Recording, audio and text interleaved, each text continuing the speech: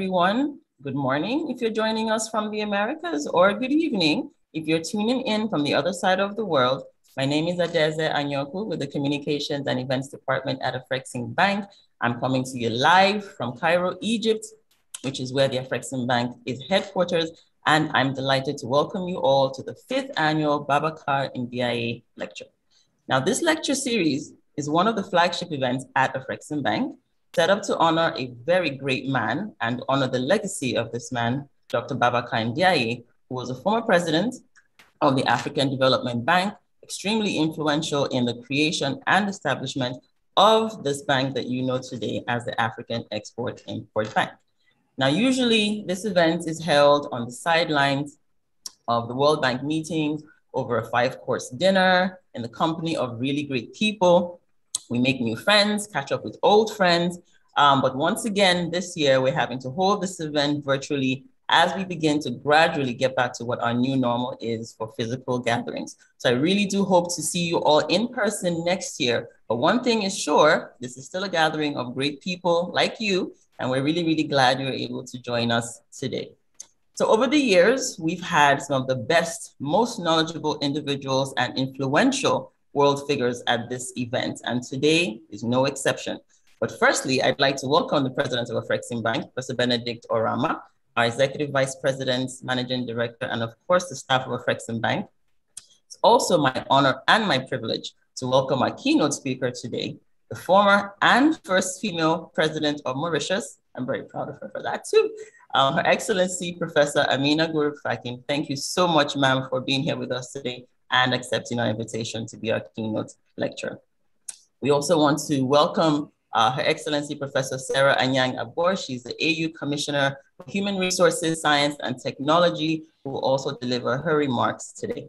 Let me welcome members of our board of directors, ambassadors, members of diplomatic corps, shareholders, Afrexim Bank Spouses Network, and of course, all our distinguished guests from academia and beyond for joining us today. Thank you all so very much.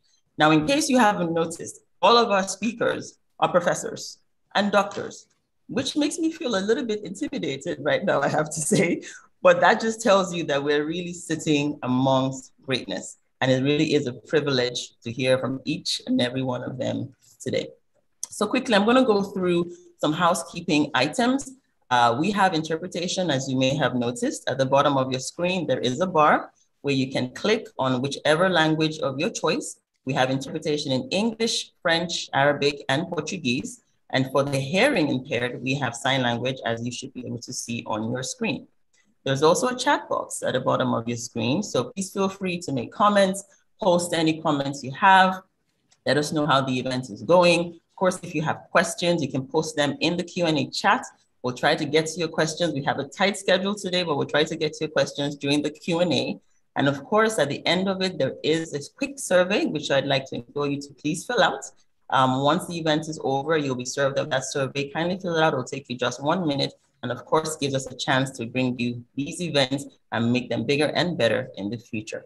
So I'll dive very quickly into um, our schedule for today. You already saw all the speakers that we have, so I won't run through the program, but I'm going to introduce um, our moderator for today as well. His name is Mr. Godfrey Mutizwa, um, and he's no stranger to you all. He's editor-in-chief of CNBC Africa, which is a sub-Saharan, which actually is sub-Saharan Africa's biggest television channel. He's covered African business affairs for the past 36 years. I'm sorry, Godfrey, I know I'm aging you again. uh, across print and broadcast media, previously spent a decade with Bloomberg News and Reuters. In addition to his charge as the CNBC Africa's editor of CNBC Africa's editorial content, he also presents Closing Bell South Africa, which I'm sure many of you have watched on CNBC Africa. So coming to you live from South Africa is Mr. Godfrey Mutizwa, my brother. I'm going to pass the baton over to you and I'm going to sit back and enjoy the rest of the program. Godfrey, you can hear me? The all yours. Thank you, Adeze. I feel like singing that song by Eddie Grant called Hello, Hello, Hello, Africa but I would be amiss because I have seen when I'm looking at uh, the people who have been able to join us here today, people from all over the world. So I'm going to say hello, Africa. Welcome to the fifth Babacar Ndiaye lecture. Every year, the bank honors me by putting me on this huge pedestal where we're able to share very important and pertinent issues affecting the African continent. So I'm truly honored to be here. And I'm hoping that by the end of our session, we would have shared ideas that we are able to take into our spaces and spread far and wide around the continent and help to push our continent further along the road, including, of course, recovery from the pandemic. I'd like to begin first by just giving you an overview of uh, the speakers that we've got lined up for you. Uh, very shortly, uh, we're going to be listening to a celebrated African poetry artist. And I say African, I've taken out the South African because she's truly African. I have met her in many places around the African continent. Lebo Mashile very shortly is going to be chatting to us. After she has presented, we're going to uh, be joined by the president of Afreximbank, uh, Professor Benedict Oramah, a man who has been driving the integration of Africa for a long time. Our keynote address, as you know today, is going to be delivered. I'm going to call her, as they do the other former leaders in other parts of the world. So you hear of President Bush, you hear of uh, President Obama. So I'm going to call her uh, President Amina Gurib Fakim, former president of the Republic of Mauritius and a distinguished uh, leader within the space that we are talking about today, technology, we're talking science, and we're talking, we're asking the question, how do we use to advance the African continent? And as you heard from Adeze, before we go, we have a guest speaker, and uh, that will be Professor Sarah Anyang Agbor. She's going to give our closing remarks. So it promises to be a full program, and I'm hoping that all of you will be full uh, participants in the program uh, today. Okay, I wanted to also tell you that, by the way, we are live on CNBC Africa, and I'm hoping that you will stay on to then watch the show that we will present after this program. I'm going to be presenting Closing Bell South Africa, a rep of the market movements here in uh, South Africa. And uh, unfortunately today, because this program is uh, overrunning, you won't be able to see Closing Bell West Africa. But if you tune in tomorrow, I promise you it will be there and you'll be able to watch it. Let me tell you a little bit about Our Lady Poet. Lebo as uh, those who know her uh, will describe her differently. Some will say she's a poet, others will say she's a performer, others will say she's a producer. She speaks, she's an activist, she's a social commentator, and she tackles those very thorny issues sometimes that we are a little embarrassed to talk about, having been in over 29 uh, countries to date.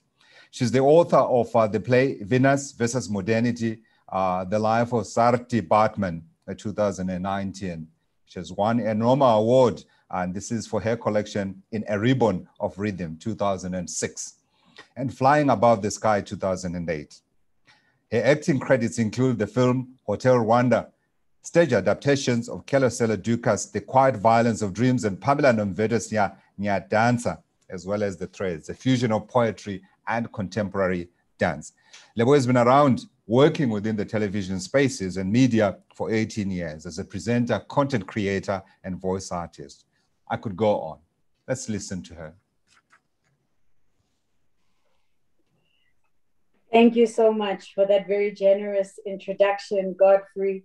A warm welcome also from South Africa to all of our distinguished guests. I'd like to thank Afreximbank for continuing to support this to support the arts, particularly poetry, especially at this difficult time um, of this global pandemic that we are contending with. I have written this poem for the occasion of the fifth annual Babacar Ndiaye lecture, and it is my pleasure to share it with you. It's called Why We Are. There is no corner of the earth where we are not, no dimension of existence where we have not been, no experience of what it means to be human that has not been forged by our own DNA. To ask where we are going is to ask how we have arrived here. To ask who we are is to ask why we are. That is where our story begins. Why does our mineral rich soil make elements essential to the functioning of the modern economy while the first people of the planet remain disposable? Why are we dancing to a 500 year groove in a record that we did not design? When cartographers mapped the oceans and continents with the same patterns drawn on floors of homesteads with sand and dung, the same ground that swallowed the spilling of blood and the algebraic polyrhythms of griots. They were building a language that would be braided into African women's hair carried on ships across the Atlantic, along with seeds, crowns of maps on black skulls, a message of survival to the future. We have been led to freedom by constellations in the minds of women, a true North Star. There can be no glory in the marketplace for Africa without women. She who carries timelines on her back and the cosmos within, whose sweat is the axis upon which the world spins, who illuminates the shadows where our light has been dimmed, who has birthed every dream of humanity, the mother of all skins. To ask who we are is to ask why we are. Innovation is our mother tongue. There are more pyramids in Sudan than in Egypt.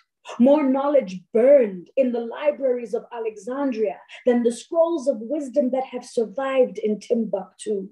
There are pyramids in Mexico, China, Egypt, Sudan, Peru, Spain, Italy, Guatemala, and Indonesia. Tridents of the soil running towards the clouds speak to a mathematical genius that has never been afforded to us. A scientific vision that has never been accorded to us, a technological mastery not associated with us. There are markings all over the world that tell of our footprints, from the crests of European cities depicting brown men to energetic synergies between Moorish architecture and the palpable intensity of flamenco dance. Our faces are in the children of Asia and Polynesia. We were explorers in the hands of the planet, helping her children to know themselves. Pyramids are technology. Art is technology. Genetics is technology. Ours is not to become something new. Ours is to fashion who we have always been anew. Science is the children of our villages inventing water purification systems, then studying at MIT and Harvard. It is the African child who created the algorithms for Snapchat and Instagram. It is the urgency driving the ascendancy of beats, connecting our hearts to dance floors in Soweto, Lagos, Nairobi, Kingston, and Brixton, providing the soundscape for human joy. But who will call this mathematics? Who will tell our choreographers that they are also physicists and astronomers, stretching the engineering of the body beyond the house of the soul to a living vessel for digital reverberations of the universe? There is nowhere where we are not. Our children do gymnastics on the partition between culture and technology twisting its straightness into a sculpture, connecting us to every living element. How do we turn 419ers into cyber architects of tomorrow? How do we catalyze the essence of artistic abilities into robotic creativity? How do we mechanize our systems to leave the hands and the minds of our people free to educate themselves? Automation is not a threat where continuous learning is a culture. An educated population is not a threat when ethical servant leadership is a culture. A young population is not a threat when remembering why we are is a culture. Empowered women are not a threat when healed men are a culture. Being African is an applied science of humanity. We have been evolving since our first steps from the sea. Every tool we have made, every dream we have prayed is technology. Thank you. Wow. Wow. Where is the applause? I'm looking for the applause. Lebo, you are a true patriot of Africa. I don't know if you've been able to see all the comments that was seeing on my screen here, and they could keep on coming in, and they're coming from all parts of the African continent. Wonderful. Thank you. Beautiful. Illuminating.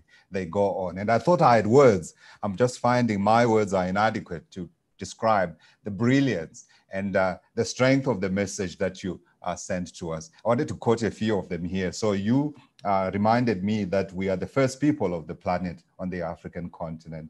You reminded me uh, that on my mother's back, they are timelines of uh, the world. And uh, my mother is the mother of all skins across the African continent. We are explorers. Thank you uh, for that absolutely amazing message. We move on with the program. Let me introduce and contradict myself and introduce a man who needs no introduction. He is the president of uh, the Africa Export Import Bank, Professor Benedict Oramah. Uh, Professor Oramah has grown the bank significantly and improved its global appeal and relevance for the African continent. And I think it's a work that we all see around the African continent. The bank is playing a leading role in the implementation of our flagship program, the African Continental Free Trade Area, may I remind you, launched January 1 this year. Professor Oramah is leading the creation and deployment of very innovative digital platforms that will boost intra-African regional trade and investments by revolutionizing cross-border payments. The bank is also improving access to quality trade information a very important consideration given we don't know enough about ourselves. And within African countries, we don't know enough about the other African countries. As the chairman of the board of trustees of the African Union COVID-19 Response Fund, Professor Oramah is helping to coordinate uh, grant mobilization and efficient utilization across Africa, as well as coordinating the procurement and distribution of medical supplies amongst African countries everybody is saying there will be no building back unless we conquer COVID. And we will conquer COVID if we all get vaccinated. An important message that we should be getting out every single day to those who continue to hesitate, to those who perhaps disagree, and to those who perhaps need that uh, persuasion. As a recognition of his achievements, Professor Oramah has received several honors and awards, including his recent decoration by the President of Russia, Vladimir Putin, president of the Russian Federation with the Russian Senate Award of the Order of Friendship in 2019. Also, in 2019, he was bestowed with the Knight of the National Order by the Cameroonian government. In the same year, he received an honorary Doctor of Science degree in Agricultural Economics from uh, Obafemi Awolowo University, Ife, Ife, in Nigeria. In 2017, Professor Oramah, if I may remind you, was voted African Banker of the Year by African Banker magazine. Professor Oramah, I could go on. We need uh, that book to be written quick and fast. Welcome, sir.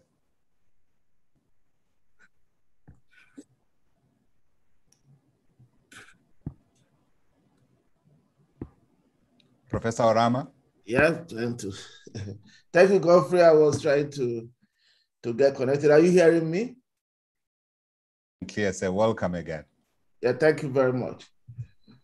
Our guest of honor, uh, Her Excellency Professor Amina Gurib Fakim, former president of the Republic of Mauritius, a world-renowned scientist, and the 2007 laureate of the L'Oreal UNESCO Award for Women in Science.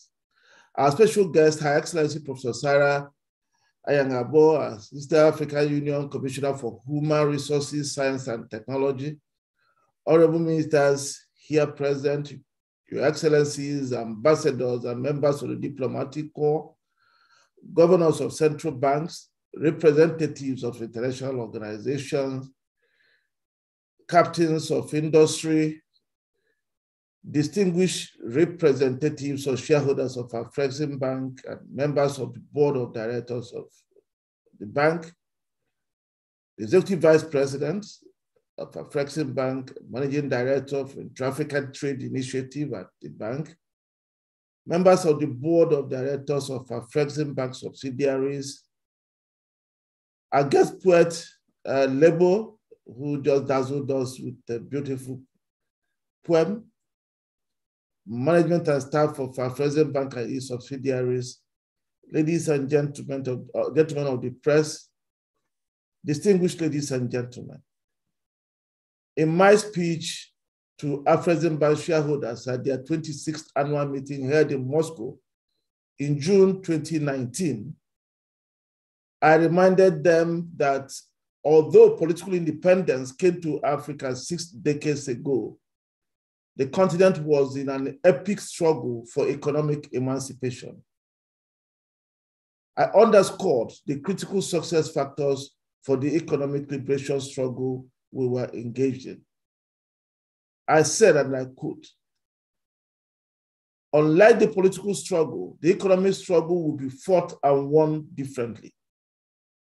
Instead of being trained, instead of being fought uh, with uh, uh, certain kinds of weapons, it has to be fought with brains. Instead of being trained in military camps, the freedom fighters for this new battle are being trained in technical schools and universities. Instead of fighting in trenches, this battle will be fought in factory floors and tech incubation centers. Instead of guns, the battle will be fought with ideas, hard work, and investments. While bravery was required for the political struggle, courage is a necessity for the economic liberation struggle. Technology are not armed guerrillas. Ideas are not bullets will constitute the potent forces for victory in this new struggle. And as with political struggle, Africa needs partners that can support it to prevail. The partnership we seek is one beyond aid and grant, but one founded on mutual respect and trust win-win economic cooperation and pursuit of shared prosperity and excellence. I've repeated these arguments in speeches I've delivered to African students in Nigeria, the US, and elsewhere. We've now decided to move from rhetoric to definitive action in spreading this message because we believe it is important. We have decided to begin the process of mainstreaming these arguments. And there can be no better platform to launch that process than our Babacar Ndiaye lecture. That is why the theme of this year's lecture is the importance of science, innovation, and technology in the transformation of African economies under the African Continental Free Trade Agreement. It is undoubtedly a particularly important but challenging topic. That is why we had to search far and wide for somebody that fits the nexus of solid professional accomplishments, acuity of vision, and strong political instincts. Uh, to this end, we didn't have, in the end, we didn't have to go too far. It is therefore my singular honor and privilege to welcome and thank our guest of honor, Her Excellency Professor Amina Gurib Fakim, for accepting our invitation as the keynote speaker for the fifth edition of the Ndiaye lecture. We are most grateful to Your Excellency for rearranging your pressing engagements to be able to join us virtually today. After serving as the first female president of the Republic of Mauritius, you've also become the first female to deliver the Babacar Ndiaye annual keynote lecture. This is quite fitting because President Babacar Ndiaye was instrumental in the rise of women to leadership positions at the African Development Bank. In this regard, I would like to thank you for allowing us to honor the vital aspect of this legacy. I welcome all our distinguished guests for finding the time to join us virtually once again.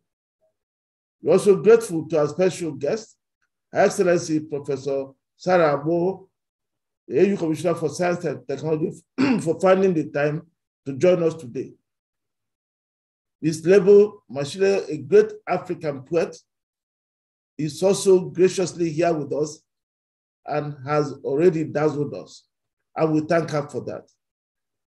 Your Excellencies, distinguished ladies and gentlemen, The Boubacar Ndiaye lecture was launched five years ago by Afreximbank to honor Dr. Ndiaye's memory and sustain his vision of using strong continental institutions as instruments for delivering Africa's development and integration. Afreximbank was inspired by this vision and the relevance of the institutions he helped create while he was at the helm as the fifth president of the African Development Bank. His legacy is evident in the development impact those institutions have made over the years. Afreximbank stands today as an indisputable evidence of, Dr. of Dr. Ndiaye's foresight. And as Africa begins the implementation of the AFCFTA amid the ravages of the COVID 19 pandemic, the urgency of giving more impetus to the struggle for economic independence has become inevitable. From Cape to Cairo and from Dakar to Dar es Salaam, Africans discovered the consequences of a huge deficit in manufacturing capacities, research, and development. As the COVID 19 induced nationalism spread across the globe, Africa was denied access to items from as simple as face masks to as complex as COVID 19 vaccines and ventilators, even with funding to pay upfront. There is now a widespread recognition across the continent that Africa's security cannot be guaranteed by current global relations of production and trade. Whereas the realization of the need to improve the technology content of Africa's production and trade had been there, it remained a fashionable rhetorical argument until the COVID 19 pandemic brought it home to all of us in fear and blood at the highest quarters. There's now a call to action to produce vaccines, pharmaceuticals, and build a viable intra-regional value chain on the platform of the AFCFTA. It is no wonder that African ministers of trade are doubling their efforts to quickly conclude negotiations of the rules of origin under the AFCFTA, with a clear focus to use them as a basis to drive regional value chains and AFCFTA-led industrialization on the continent. The role of science, innovation, and technology in this process has firm theoretical and empirical foundations. In a world where trade has been dominated by manufactured goods, science, technology, and innovation have become principal drivers of growth and global competitiveness. In fact, over the last few years, the power of science and technology has been demonstrated in a very profound way. For instance, it is a deficit of technological capabilities that kept Africa at the back of the vaccine queue. It is limited access to technology that is compounding the food security situation on our continent and leading to the rise of terrorism. And if you look at company valuations today, you will find that Apple's 2020 market capitalization of $2 trillion was equal to the combined GDP of almost all African countries. And Apple is a technology company. According to the World Economic Forum's Global Competitiveness Index, which measures the drivers of total factor productivity, the most competitive economies in the world are also the ones leading in the field of ICT, innovation, scientific research, and development.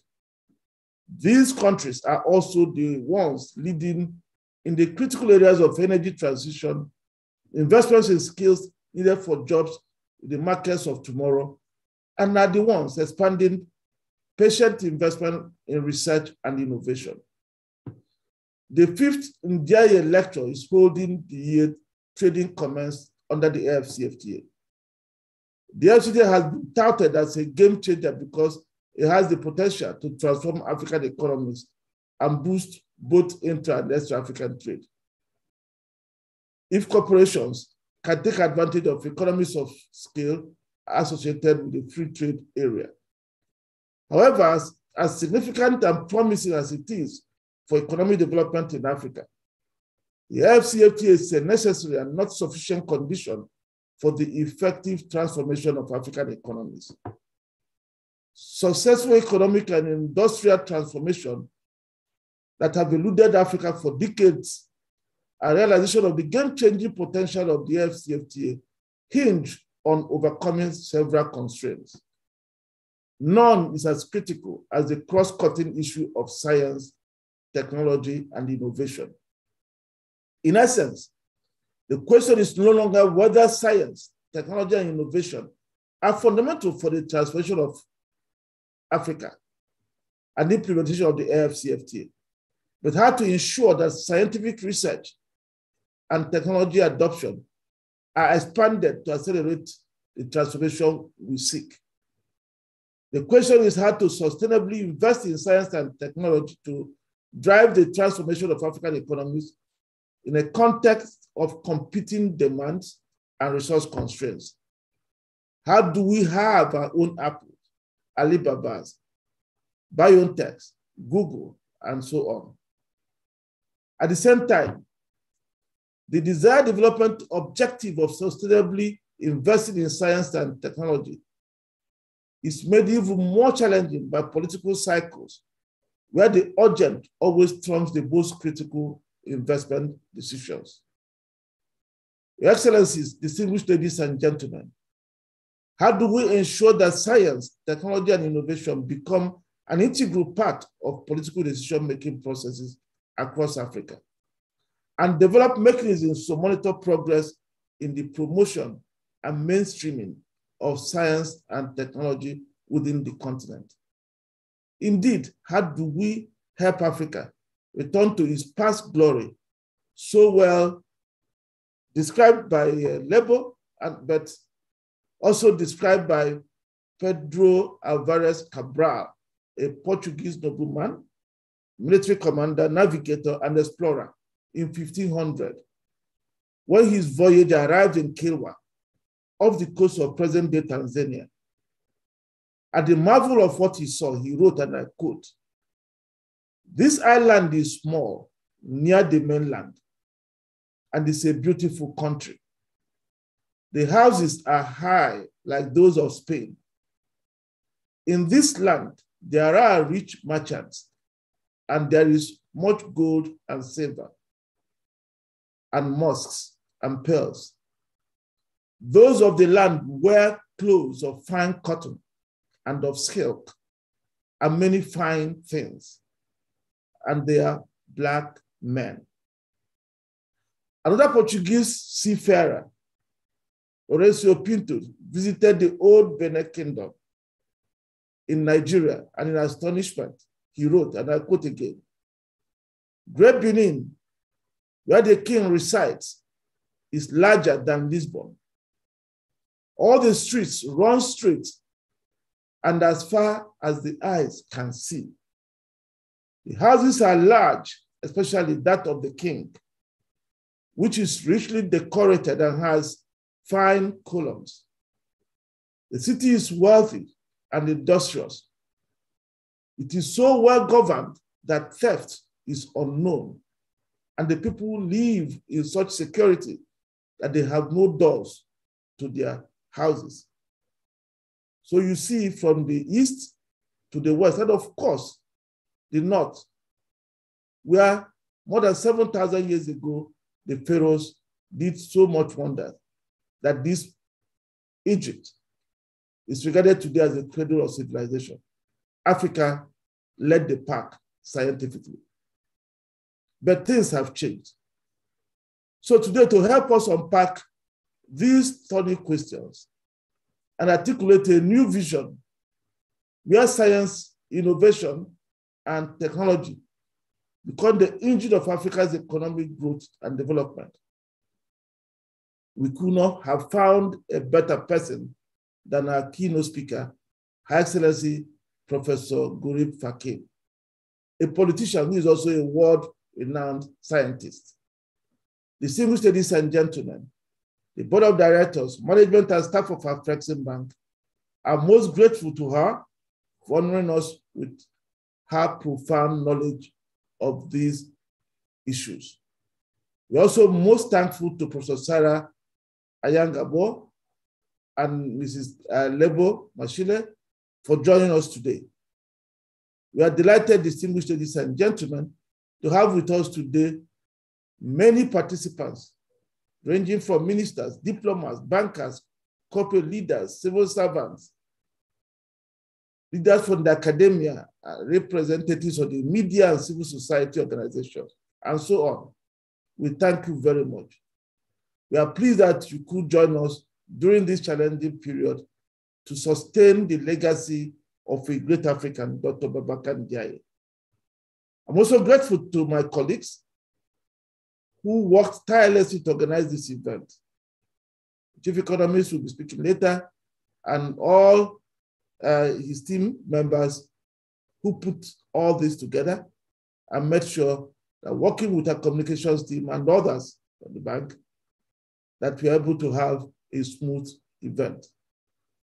I thank you all for your attention and look forward to a very engaging session.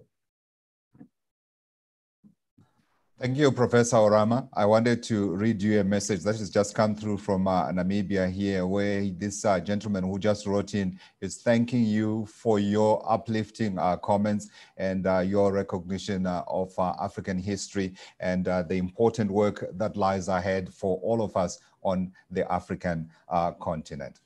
Um, I wanted to begin before I introduce Her Excellency by explaining that um, because her biography is so large, I'm going to do a disservice and not read all of it. But before I do that, I wanted to say there's a reason why Africa is uncompetitive when it comes to inventing things and producing the goods that we require, be it in manufacturing or mining.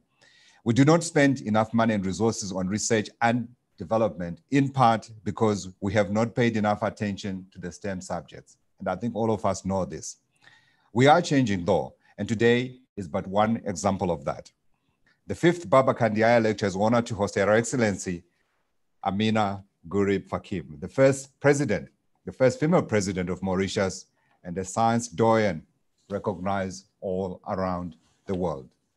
We thank you for being with us today and I'm just going to give a few of the accolades and uh, the places where you've been at to share with our audience today. As I said, she was the first female president of Mauritius, 2015 to 2018. And prior to that, she was managing director of the Center for International Development, Pharmaceutique, Research and Innovation, as well as a professor of organic chemistry with an endowed chair at the University of Mauritius. Since 2001, she has served success, successively as Dean of the Faculty of Science and Pro Vice Chancellor, University of Surrey, UK, PhD from University of Exeter, at which she began working at the University of Mauritius. Between 1987 and 1992, she served as project leader for the first regional research project on the inventory and study of medicinal and aromatic plants of the Indian Ocean, funded by the European Development Fund. And so the list goes and on and on and on. Your Excellency, allow me to cut short that introduction and take you to the floor. And thank you once again for joining us this afternoon and sharing your immense knowledge.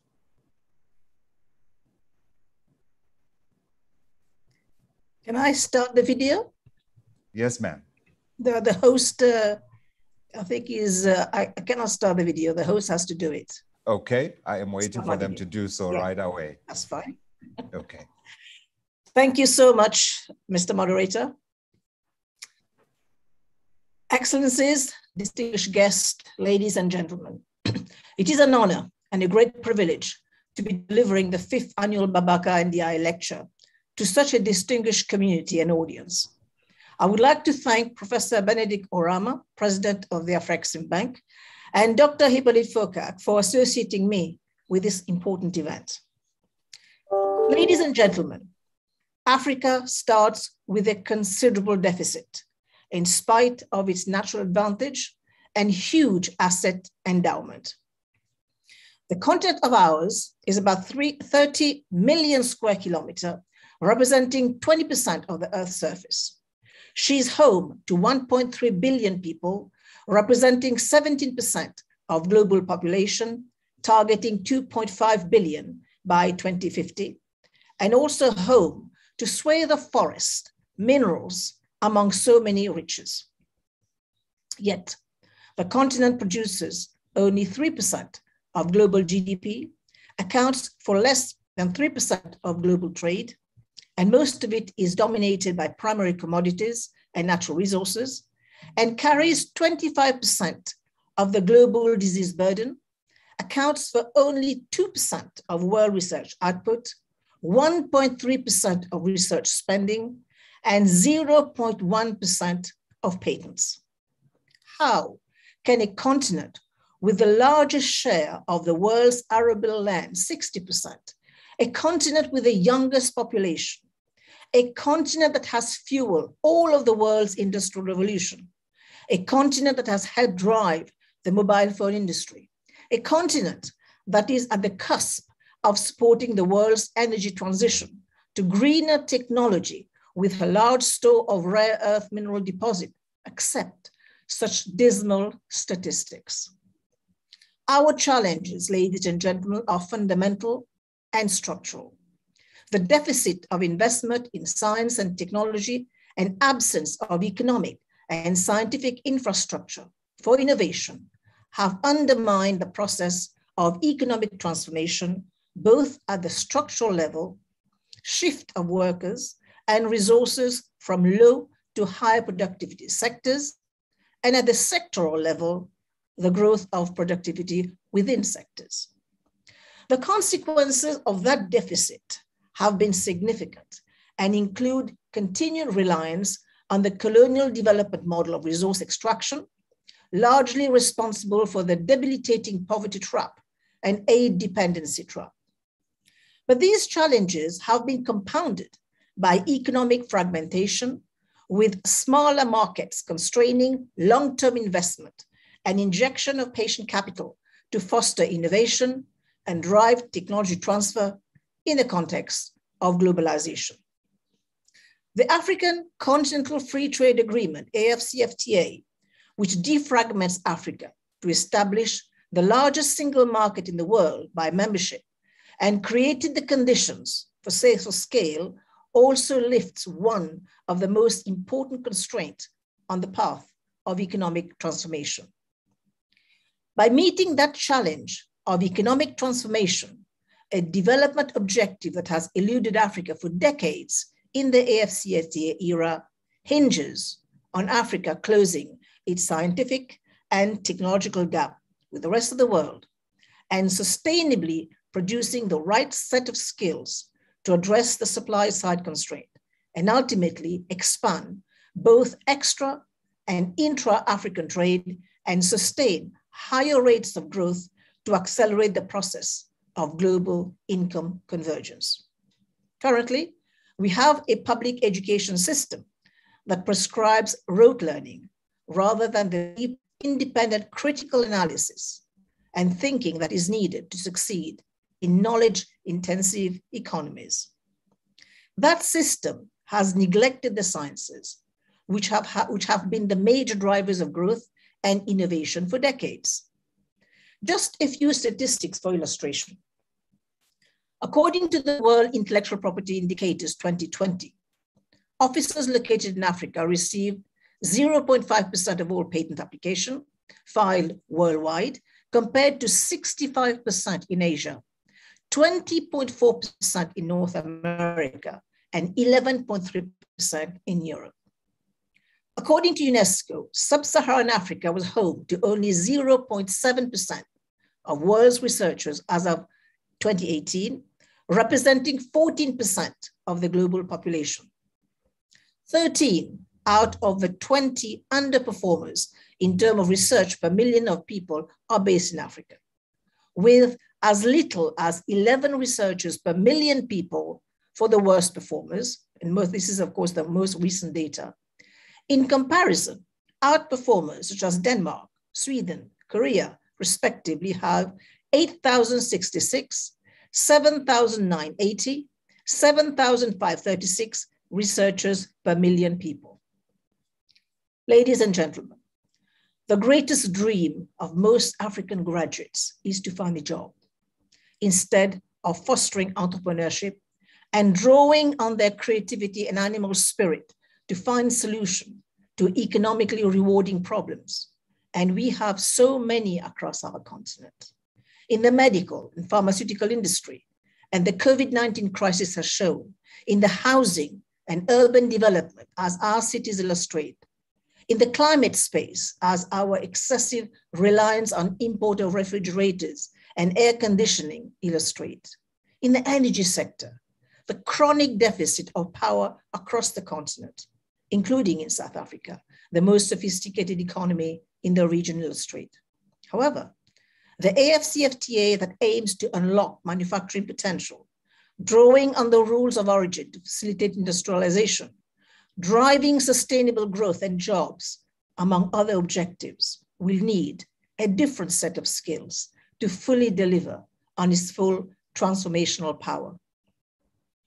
The key boon of manufacturing is that it absorbs large swathes of workers and places them into productive and decent paying jobs. Throughout history, this exact recipe has transformed the United States, United Kingdom, France, Japan, Germany into some of the world's wealthiest nations. Most recently, a new age of industrialization has helped push China into one of the world's fastest growing economies boasting the largest middle class, with other Southeast Asian countries following closely behind.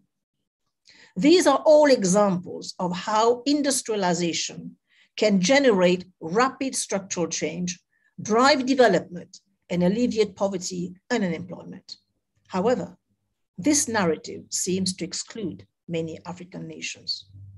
Despite their manufacturing potential and promising trajectories, most African countries have remained largely dearth of factories. This limited industrial development represents a missed opportunity for economic transformation, characterized by the expansion of manufacturing output in a context of a strategic shift of workers and resources from low to higher productivity sectors through the more entry and growth of technologically intensive firms and sustained effort to foster innovation in the higher productivity sectors. The silver lining is the potential. Business to business spending in manufacturing in Africa is projected to reach 666.3 billion US dollars by 2030, 201.28 billion more than it did in 2015.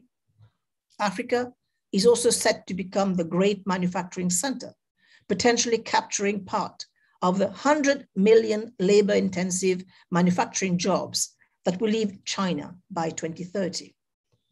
This trend creates a huge opportunity for the continent, not only for countries such as South Africa, Egypt, and Nigeria, all regional outperformers in the Global Manufacturing Competitiveness Index, but also for new players such as Ethiopia, Morocco, Rwanda, and others, all of whom have recently adopted policies enabling manufacturing and industrial development. Today, leaders are increasingly realizing that manufacturing is a major factor in helping Africa realize its development potential and narrow its income and welfare gap with other regions of the world. The African Union has made industrialization and export diversification the centerpiece of its strategy, Agenda 2063, the Africa we want. African governments are seeking new and innovative ways to attract investment and nurture industry, implementing strategies that involve targeted investment in infrastructure, improve regional integration, and the establishment of special economic zone for priority subsectors. Under the second pillar of its fifth strategic plan, the African Export-Import Bank is financing the development and expansion of industrial parks and special economic zones. It is also supporting the development of regional value chains to sustainably foster technology transfer. However, in order to reach its manufacturing and industrial potential, much needs to be done by the public and private sectors to increase Africa's economic complexity, diversity, competitiveness, and productivity. After all, to reverse the trend And to compete in an intensely globalized world, we need to take a big leap forward, fueled by innovation. We also need an innovation system that can deliver new manufacturing technologies and processes to get us there. Ladies and gentlemen, at a macroeconomic level, countries across Africa are chronically dependent on aid and urgently need to turn the attention to attractive business, private investment and venture capital and marshalling innovation. But it is not all gloom and doom. Africa has the youngest population of any continent. According to the World Economic Forum, the median age among the 10 youngest countries on the continent range from age 14 to 18. We ignore this significant demographic asset at our peril. These inexorable trend, trends mean that by 2034, Africa will be home to the world's largest number of working age adults. The World Bank estimates that 11 to 15% GDP growth over the next 20 years will be attributable to these favorable demographics. The energy is palpable with world-class innovation emerging from technology incubators in cities from Kigali to Harare to Lagos. Ladies and gentlemen, as we explore the best strategies to build and sustain research and development capacity for Africa's economic growth and economic and social well-being, we need to look anew at how science, technology, innovation can be better mobilized to propel us in our journey to achieving the UN SDGs by 2030 and the Africa Union Commission's Agenda 2063. Fortunately, there are many nascent success stories that we can draw upon and that need to be replicated speedily at scale. In certain technologies, in certain sectors of technology entrepreneurship and application, we know that we are pivoting to a better place. The energy is palpable. We see this most prominently in telecommunications. In 2006, according to The Economist, there were fewer than 13 million landlines and 130 million subscriptions to mobile phones in all of Africa. Today, over a billion of the continent's 1.4 billion people have access to mobile phone. These in turn have served as a platform for innovation and in the efficient delivery of services. Of particular note, financial services and mobile money, initially developed in East Africa and spreading across the continent. Across sub-Saharan Africa, relatively few people have traditionally qualified for bank accounts. But today, everything from bananas in the marketplace to software for our PCs is purchased through the mobile money platform created in Kenya, M-Pesa.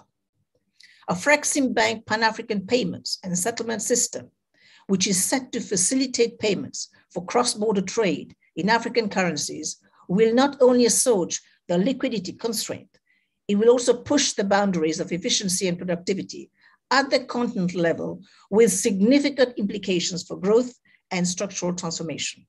Indeed, the GSMA, the International Telecommunication Trade Organization, notes that for every 10% increase in, in phone penetration in poor countries, productivity improves by more than 4% percentage point, and that a doubling in mobile data usage increases annual per capita GDP growth by half a percentage point.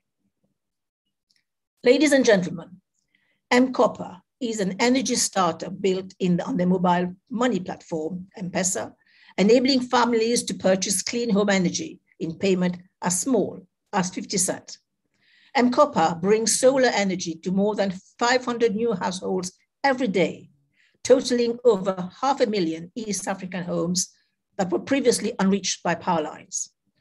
With only one in three Africans having access to energy, energy security is crucial to fighting poverty, improving productivity, sustaining the growth of output, especially industrial output, and nurturing the next generation of scientists.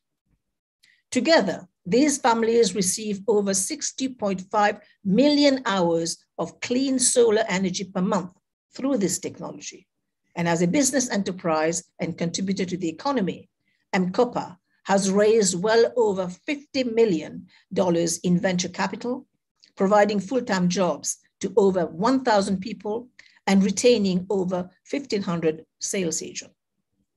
Paradoxically, a big factor in exemplary and appropriate technology successes, such as M-KOPA, is that in many cases, we do not carry the burden of entrenched industries with vested financial interest that perpetuate business as usual, the large number of unbanked people, leading to mobile-based financial services. The absence of an energy grid in rural communities invites solar energy solutions, such as M-KOPA. The absence of investment telephone lines clears the path for adoption of mobile telephony and so on. Ladies and gentlemen, as these few success stories show, there is greater recognition about the role of STI can play in achieving national development goals and challenge is to maintain this momentum. Shining example of world-class innovation in Africa are emerging, for example, from technology incubators, creating techies across the continent. As a result, Africa is attracting actual capital investment necessary to build industry that is sustainable in the long term rather than further cultivating aid dependence, which by its nature is short term and has never led to either the development or structural transformation of any region or country.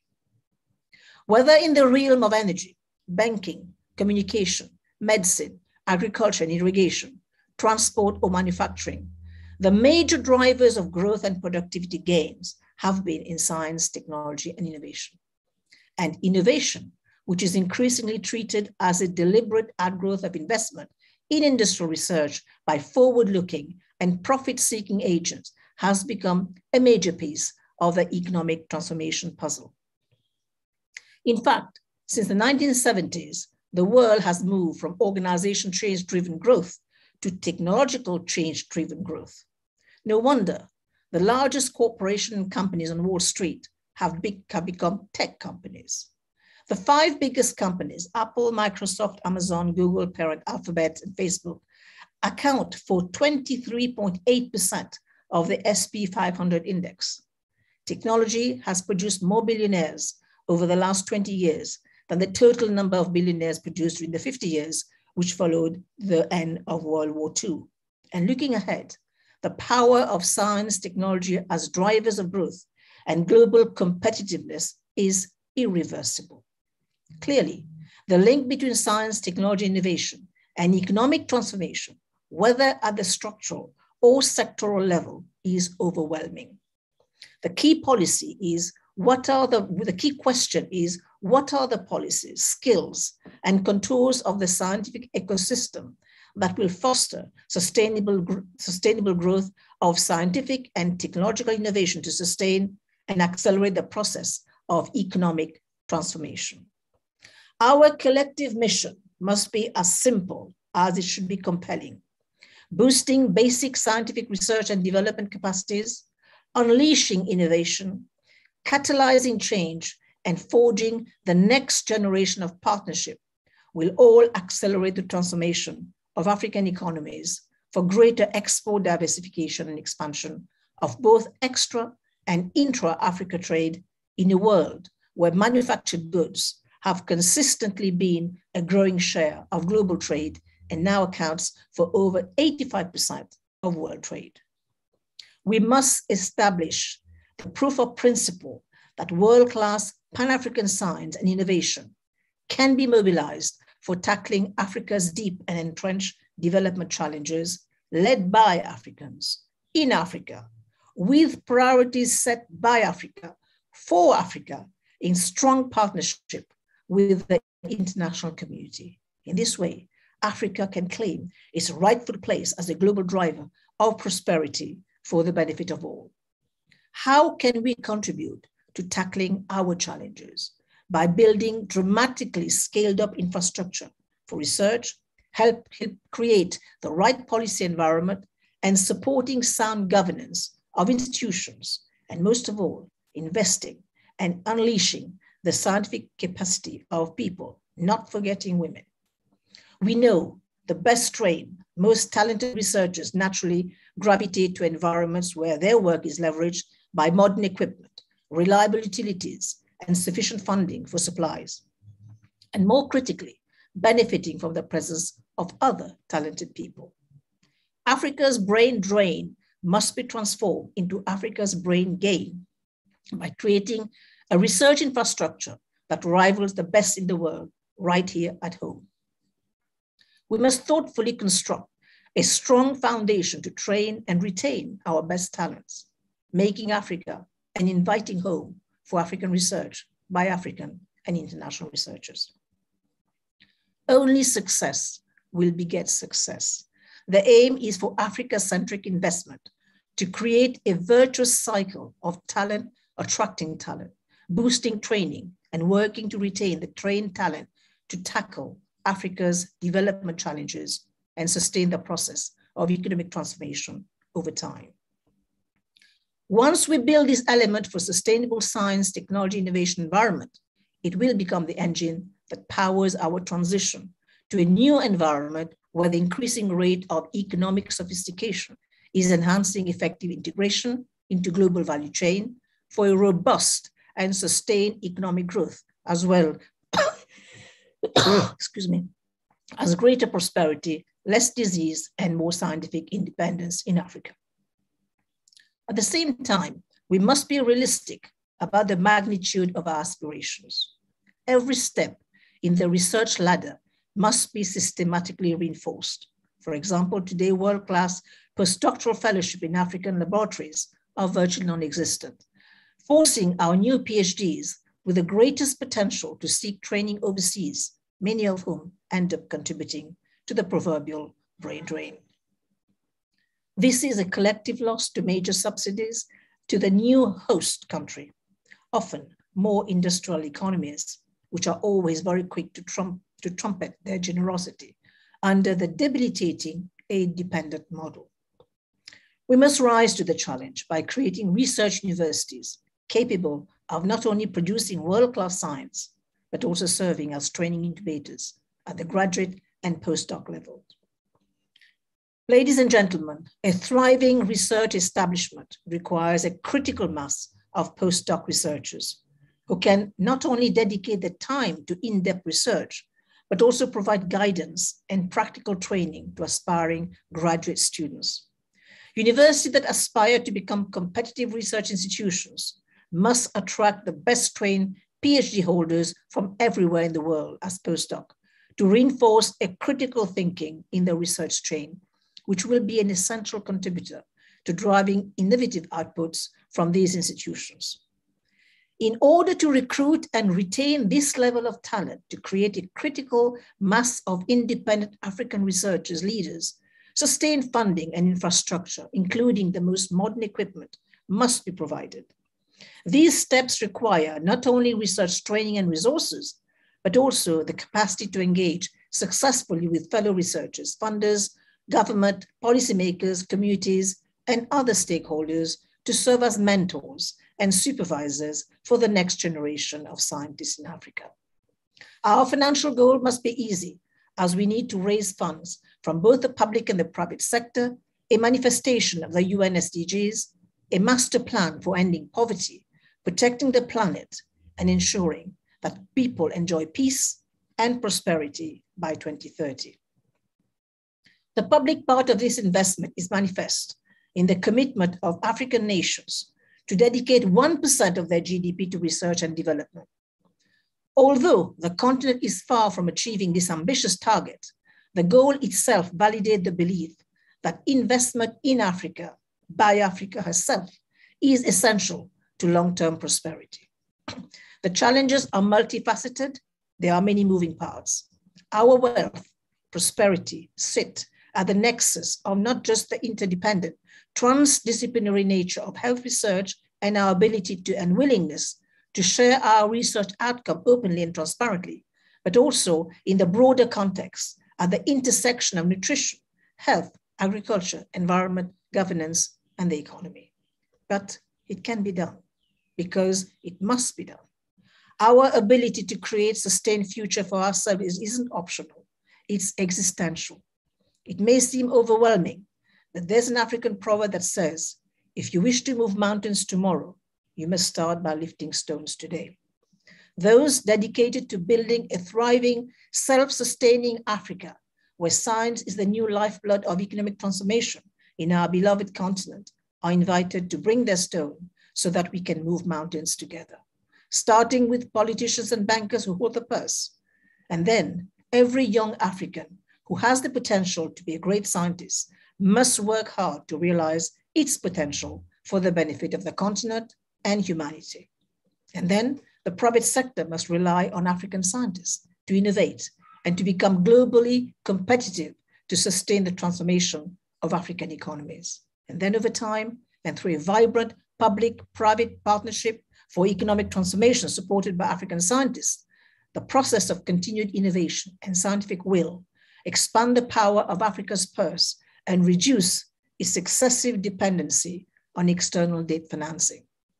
But creating an ecosystem where the scientific culture becomes central to economic transformation policy-making decision process is a long-term investment and should not be affected by either political or business cycle. Hence, to achieve a success in the path of economic transformation, effective collaboration under the tripartite public-private academia partnership for economic transformation in the AFCFTA era must be sustained over time. As part of my ongoing effort to use my bully pulpit for advancing the cause of STI, I contributed an op-ed in Nature calling for a greater push to mobilize the entire potential of indigenous African plants to generate growth and the next generation of drugs and pharmaceuticals for tackling Africa's disease and promoting health and well-being on the continent. The overall purpose is to provide a, use, a useful illustration of how strategic investment in Africa's capacity for research and development can return big uh, human and financial dividends and expand potential in the health and pharmaceutical industries, which are growth industries in Africa with tremendous potential for economic transformation. I'm pleased to know that the African Import Export Bank, our trade finance bank, is playing an increasingly important role in this critical plan pan of our economy, financing the emergence of medical centers of excellence and the rise of a vibrant pharmaceutical industry. Ladies and gentlemen, today, 60% of commercially available drugs are based on molecules derived from natural sources. As an organic chemist and biodiversity scientist, I see the great significance of this fact, especially when we consider that 25% of all plant genetic resources reside in Africa. Yet, of the 1,100 drugs marketed globally that are derived from plants, only 83 are synthesized from African species. We have left 45,000 plant species unexplored for their potential to serve as the molecular basis of pharmaceuticals and underdeveloped to potentially alleviate human suffering and drive economic prosperity for Africa. Moreover, we are in a race, we are in a race against time. Species are disappearing fast because of climate change, habitat loss, development, and other pressures. Sadly, the extinction rate of plant species on the continent is almost twice the global average, and this must be reversed. Financial commitment to exploiting opportunities to develop drugs is necessary, but not sufficient. It also requires technical, legal, regulatory, cultural conditions to enable and nurture development. Complicating matters, traditional information about the uses of plants is usually transmitted orally rather than cataloged and indexed formally. And recipes are considered trade and family secrets, and so are unlikely to be shared. As an African proverb says, an elderly person's death can be like a library that is burnt to the ground. For too long, we have underestimated and undervalued indigenous knowledge about our flora and fauna. Yet, that knowledge can be a major catalyst for endogenous growth and sectoral transformation in a continent that is spending more than 16 billion US dollars annually on import of drugs and pharmaceutical products. Other developing countries are tackling this challenge in different ways. India has established the Ayush Ministry, dedicated to the development of indigenous medical plants and systems. China is working with the WHO to catalog and document in English species commonly used in Eastern medicine. China and India are large countries compared to tiny Mauritius, but the challenges of conservation transcend national boundaries. Even though Mauritius and nearby islands are designated as biodiversity hotspots, almost 100 species have become extinct since the arrival of people in the 17th century, and less than 2% of the native forests remain.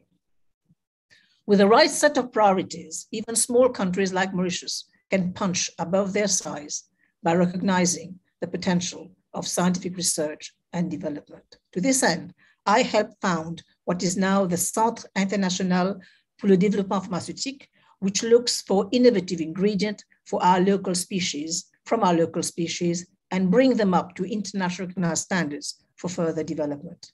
There are several success stories of knowledge that is crossing the valley of death from lab bench to marketplace due to such efforts. A recipe from the San people in Southern Africa has led to standardized extracts of the plant Sceletium tortuosum to be tested for their tranquilizing properties.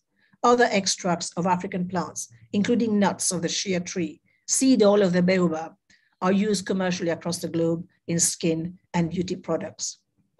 The challenge for ambitious initiative is to spread investment worthy ideas more widely across the continent and in various industries and sectors so that the process of economic transformation is broad based. And I'm convinced that catalyzing greater collaboration will hold the keys to success.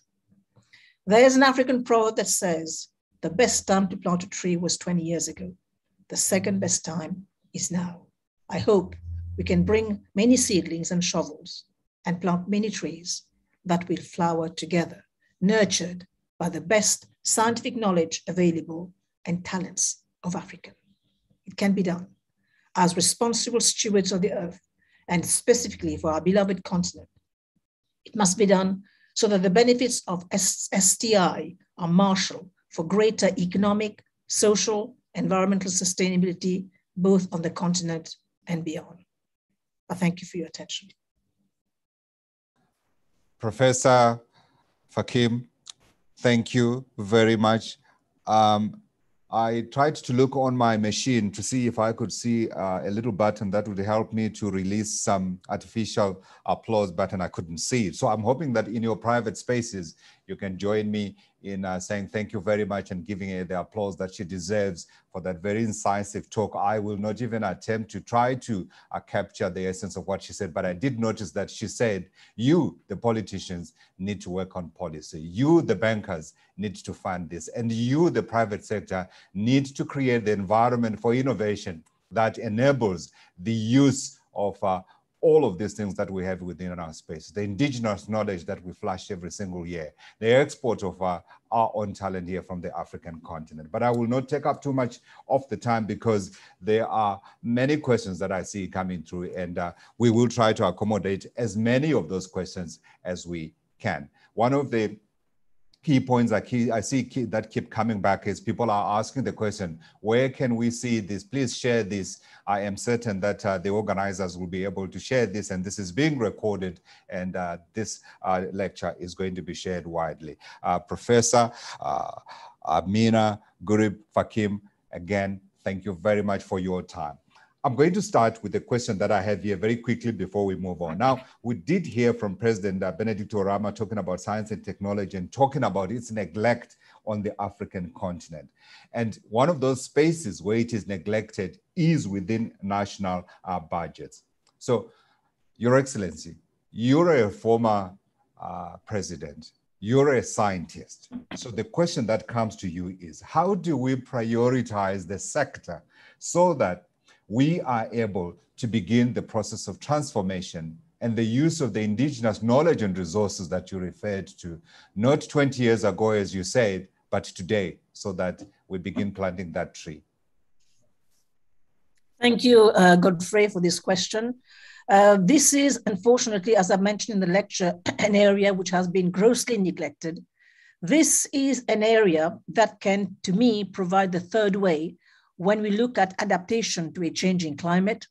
This is an area that can provide medication, cheap, affordable, uh, socially and uh, culturally acceptable. This is an area that can provide food security.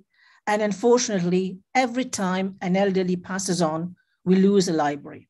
So what I started by doing myself is that uh, I documented and uh, this documentation is very important. It needs to be there at WIPO in the library. And we need to start looking at these recipes that can then be framed within scientific framework so that it can provide solutions to our everyday problems. And this, of course, is a way of creating jobs because by so doing, you become an entrepreneur. And this is exactly what we want the African youth to become, to become a highly innovative and a highly inventive and a highly motivated entrepreneur with the resources available on the continent. As I said, agenda set by Africans for Africa in Africa, but of course with strong partnership. I'm taking that message and I'm going to put it this way. You are saying this begins with every single one of us. We begin by making sure that we capture that knowledge uh, before we lose our libraries in our homes, in our spaces, everywhere. Let me take some more questions here that I am seeing. This is a question from Mohammed. He says, Professor Ameenah, we are inspired and totally convinced of your prepositions to the clear need for direction, research and development, uh, science and technology, and more investment in resource-rich Africa. Where do we start the revolutionary step? But I think we've already answered that. Which of our stakeholders should begin the tasks. I think we've also answered that. So I'll move on quickly and uh, ask if I can get another question here. Um, okay, there were some other people who were talking about other things that are slightly uh, off topic. So I'm going to ignore them because here we are talking about trying to advance this. Okay, so this is Tony. Tony is uh, with the East Africa Entrepreneurs Association. He's attending. He thanks the uh, your, your Excellency for that wonderful presentation and requests that this be shared. Again, this is a suggestion that this be shared. I want to move on quickly here. Uh, please do share, Prof. Oh no, there are a lot of. Do you see? They want to uh, that this must be uh, shared as widely as we can. So I'm scrolling down and trying to see if I can find uh, a question that can uh, uh, uh that you can uh, refer to you. I am not seeing questions. All I'm seeing is praise, Prof. All I'm seeing is praise. Okay. While I'm uh, going through those uh, uh, questions, let me give you another question that I have here. Right now. The success of the AFCFTA will greatly expand opportunities, including growth opportunities for major banks and financial institutions, such as Afreximbank. Uh, we did hear the, about the link between science and technology, and that it is probably why we are having this debate. Is there a role for banks in the new continental crusade for scientific renaissance, uh, Your Excellency? Thank you. I think already the AFCFTA is providing a huge platform uh, for market because we, we already want to see promoting uh, intra-Africa trade because we are targeting 1.3 billion, uh, uh, you know, people who can actually uh, use the existing resources from within the continent. Uh, by promoting um, uh, science, technology, innovation, I see one sector already, which is manufacturing. I think this is again where uh, the bank has a key role to play. The bank has already started playing a key role in the innovation sector uh, by creating, as I said, medical centers. And I think this is already a start. But we have to do is identify some of the key sectors of the key region where we can promote excellence by virtue of the work which is already going on there. And by developing these centers of excellence on key area, be it on health, agriculture, you know, industrial transformation, we should be able to, to make a very good start on encouraging the private sector bank, of course, academia and the researchers to come together around these key centers of excellence and really drive the research and science and technology agenda of the continent. Thank you very much, uh, Your Excellency. I've got another question here. It comes from Cher Romanus, and uh, this goes, how can we reconcile globalization and African nationalism? Uh, Professor Oramah, I'll also ask you to chip in here. Globalization, uh, it's been happening all the time. And I think what we'll have to do is rethink globalization so that it, uh, it works for everyone and uh, rethink globalization in terms of bringing on board our regulatory organizations and our bringing the government. Because so far, what we have seen is a kind of abdication from the regulators to look at ways and means of ensuring that globalization works for everyone, for all organizations, for all institutions.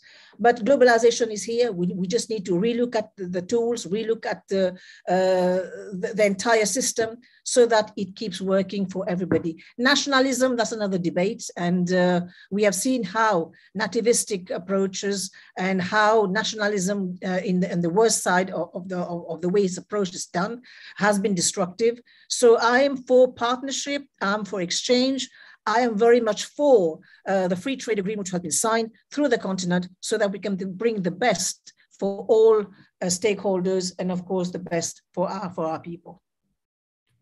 Sarama. Uh, thank you very much. I think uh, let me add my voice uh, in uh, congratulating President Gurib for a very insightful presentation that explored all the contours of the subject um, uh, that we have here today. Uh, I think uh, it's very, very thought-provoking and provides a platform for us to think and see uh, what we can make of some of the suggestions uh, that have been uh, put forward. regarding the African nationalism and globalization, I think the fact is that Africa has been left behind in globalization. Africa is marginalized um, in globalization. Um, and what we are seeing today uh, is that globalization helped Asia, certainly helped China. Um, and all of a sudden, too, the West are beginning to see that, or some of the people in the West are beginning to be anti globalization. Um, I'm blaming uh, China for everything. Uh, but I think the issue, what has happened is the way globalization has been implemented. Uh, globalization in its purest uh, sense uh, requires the, the free movement of all factors of production and goods. Uh, but the globalization that was pursued or is being pursued is one that free the movement of goods, movement of capital movement, but not movement of labor. Uh, and I think that is why you have the kind of the discontent that is beginning to emerge in the West. Now, I say this um, in the context of the AFCFTA. Uh, what it tells me is that we have to globalize our continent first. So we, we need to all uh, uh, uh come together under the AFCFTA and build a, a very strong supply chain and in the context of that, uh, move up in terms of uh, building comparative, dynamic comparative advantage in producing the kinds of goods that can go to global markets. When we're able to then build it, we will be able to compete effectively uh, in the world and um, in the global markets.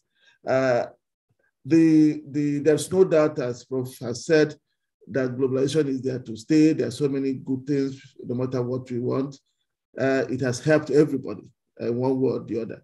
Uh, it is there to stay, maybe reformed in, one, in some ways to fit or suit uh, the purpose of those uh, who feel they are shortchanged.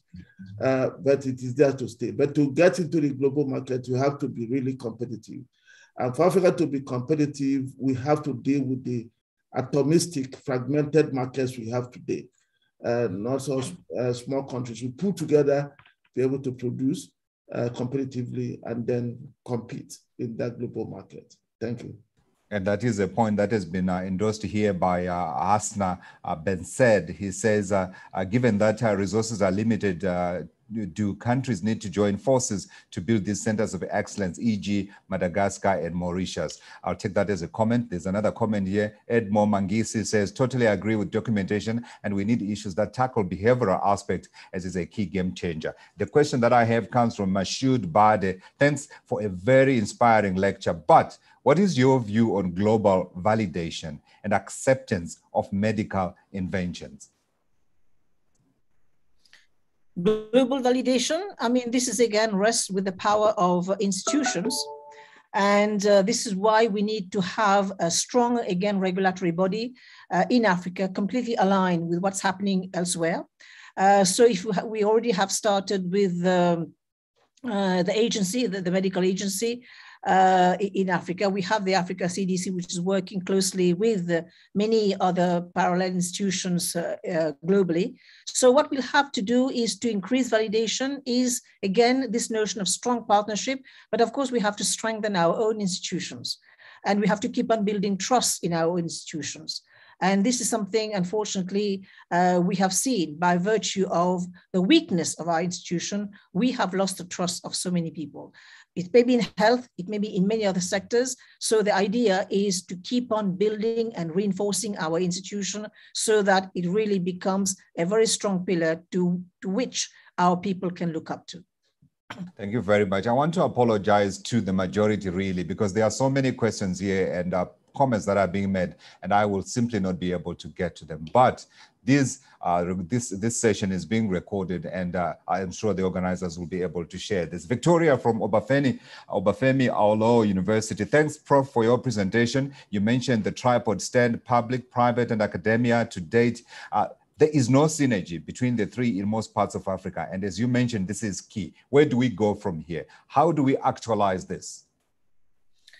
At the level of uh, universities, I think um, uh, whenever uh, I'll just come kind of very micro here, if we are crafting um, a, a, new syllabus, this is where we need to bring in the private, the private sector so they can have the say on the employability and the orientation of that particular course.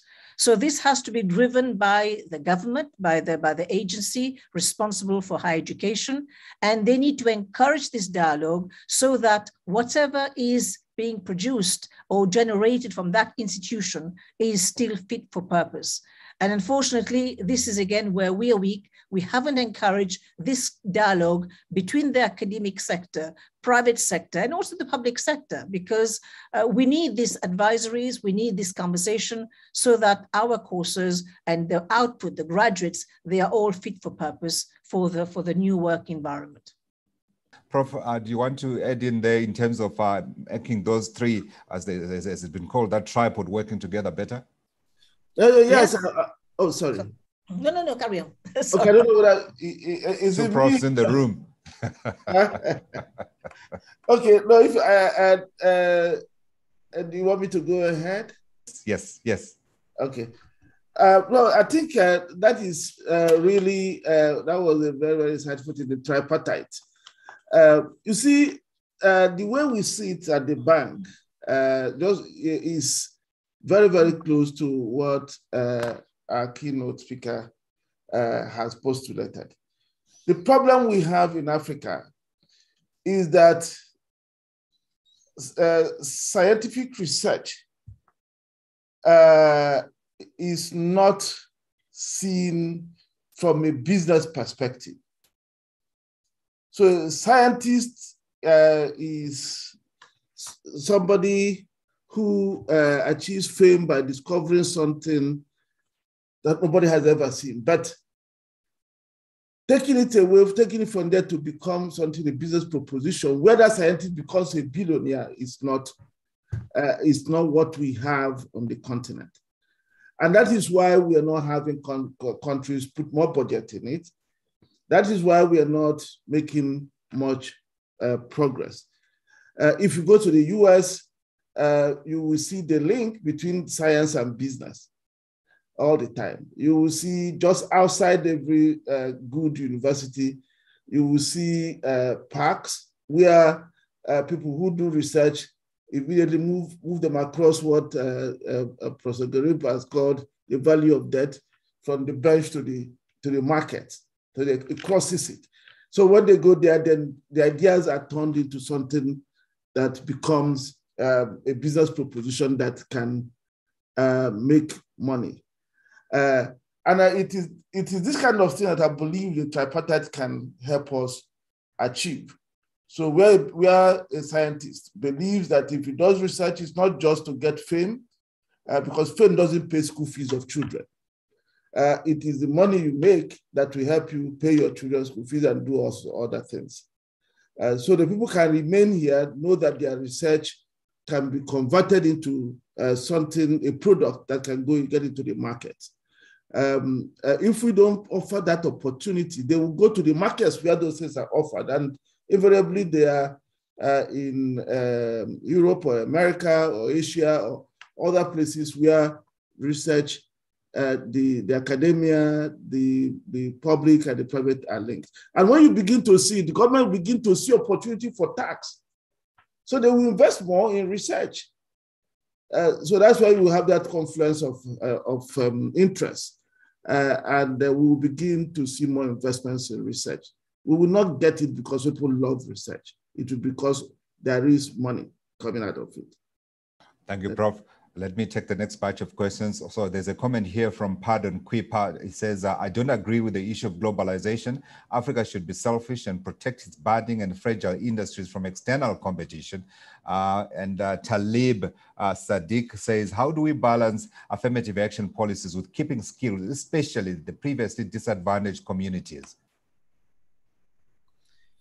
Um, keeping skills, I think, again, it's how we create the appropriate ecosystem and we recognize the talent. Unfortunately, this is still not happening on the continent. We are losing uh, many of, of our talented Africans. So our, our responsibility as leaders on, on this continent is to encourage the, the setting up of the appropriate ecosystem to nurture precisely what Professor Oramah has said, uh, to nurture these ideas so that they cross the valley of death and get to develop into a business enterprise and create jobs.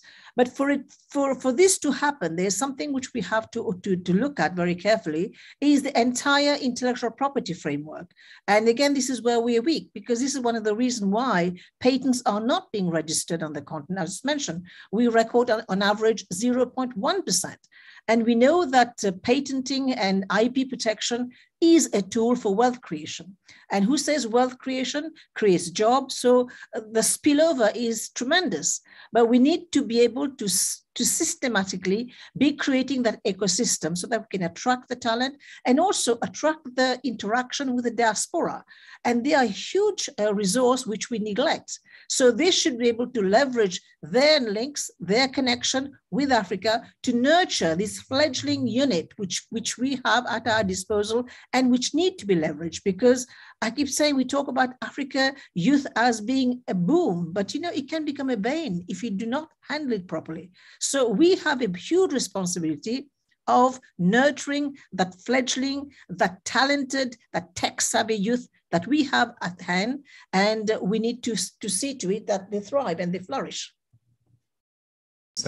Uh, let me take uh, some more points here. Uh, Abiodun Aderi says many breakthrough science inventions are archived, I think, in the shelf of university rather than this. Rather than this, research can be linked with private sector for commercialization. I'll take that as a comment. And then Africa Makasi says commercialization IP is perhaps one of the key challenges in African science and tech institutions. How can this challenge be solved for the benefit of the young creative students who invariably get uh, frustrated by the absence of uh, commercialization?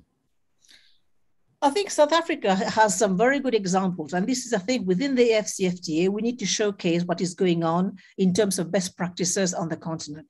I think all universities, all research universities should have a full fledged IP unit that can actually help address uh, the, the novelty in the research and then uh, prevent the publication but before that, uh, kind of filing the patent and protection of the idea. And uh, so this is a way also of generating new innovative ideas, new innovative practices, but then it, become a, a, a, tool for wealth creation. So there are many examples in South Africa where all the, all the departments, they have an IP unit and the ideas have to be registered there. So we, we can try and probe there. Okay. All right, thanks very much. Uh, the talking in the background here. Um, let me take uh, some more comments as well as uh, questions. All Africans must uh, be. Can I say something about? I, can I oh, say something about this? Go on, Prof. Go on, Prof. Uh, thinking, uh, just extending uh, what uh, uh, Prof has said. Uh, you see, one of that thing is that we have uh, very, very, uh, what I say, um, very, very, very small venture capital space on the continent. Uh, the, the funds we have are rather the private equity funds. we do not have venture capital funds. They used to be there, they just disappeared literally. Um, so if you don't have venture capital funds, uh, uh, it becomes difficult to take the IPs to commercialization. The, the, the people who know how to invest in those high risk, high return uh, ventures are not there on the continent. So one way is either probably government driven or uh, yeah, we, we, find other ways to make sure we begin to uh, revive the venture capital industry on the continent. I think that that will help uh, move uh, science up the value chain uh, to commercial products. Thank you. There's quickly something I wanted to just quickly add as well. Uh, over and above the venture capital, uh, there is also uh, the angel funding and also the culture of giving, the culture of giving by through philanthropic means. And this is one of the reasons why we've had Facebook because the idea uh, from his university graduate actually got the funding from a philanthropist to go to Palo Alto and register uh, the company. So this is again something that needs to be uh, looked at with the private sector in Africa, that they can be part of this scheme of donating so that we can transform the ideas of the young people into enterprises, into businesses. So definitely angel funding, venture capital, and all these are very, very important ways uh, to address this deficit. Thank you, Your Excellency. I hope all of you in your good hearts will uh, pardon me for bringing what has been a lively and educative, educative, educative session uh, to an end. As I said, there are so many questions, hundreds of them, and I'm unable to get through, through to all of them. But I am hopeful that they will be shared and uh, these insights, these thoughts, these comments will be shared widely across the African continent. We'll find ways in which uh, we are able to put them to good use. So I move on to our next session now, and I'd like to introduce our guest speaker, Professor Sarah Mbi Enow Anyang Agbor, who is uh, the African Union Commissioner for Human Resources, Science and Technology, uh, where she was uh, elected in 2017. Her sector uh, covers uh, education, youth and capacity development, and science and technology appropriately, as you will see.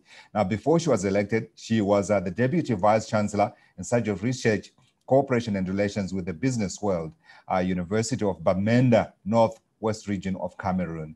There, she promoted research, efficiently and effectively, uh, she managed the university's educational and research programs, as well as overseeing initiatives and action plans in the university's research strategic plan. Therefore, she's the perfect person to deliver our guest uh, speaker role. Professor?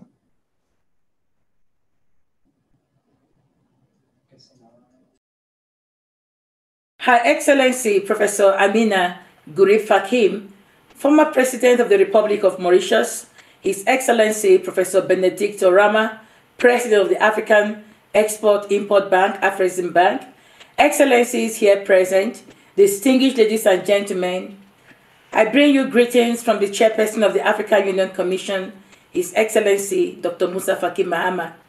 It is with great honor that I join you all in this fifth edition of Dr. Ndiaye Annual Lecture we extend appreciation to His Excellency President Benedict Oramah for hosting this lecture under the theme, The Importance of Science, Technology and Innovation in the Transformation of African Economies under the AFCFTA.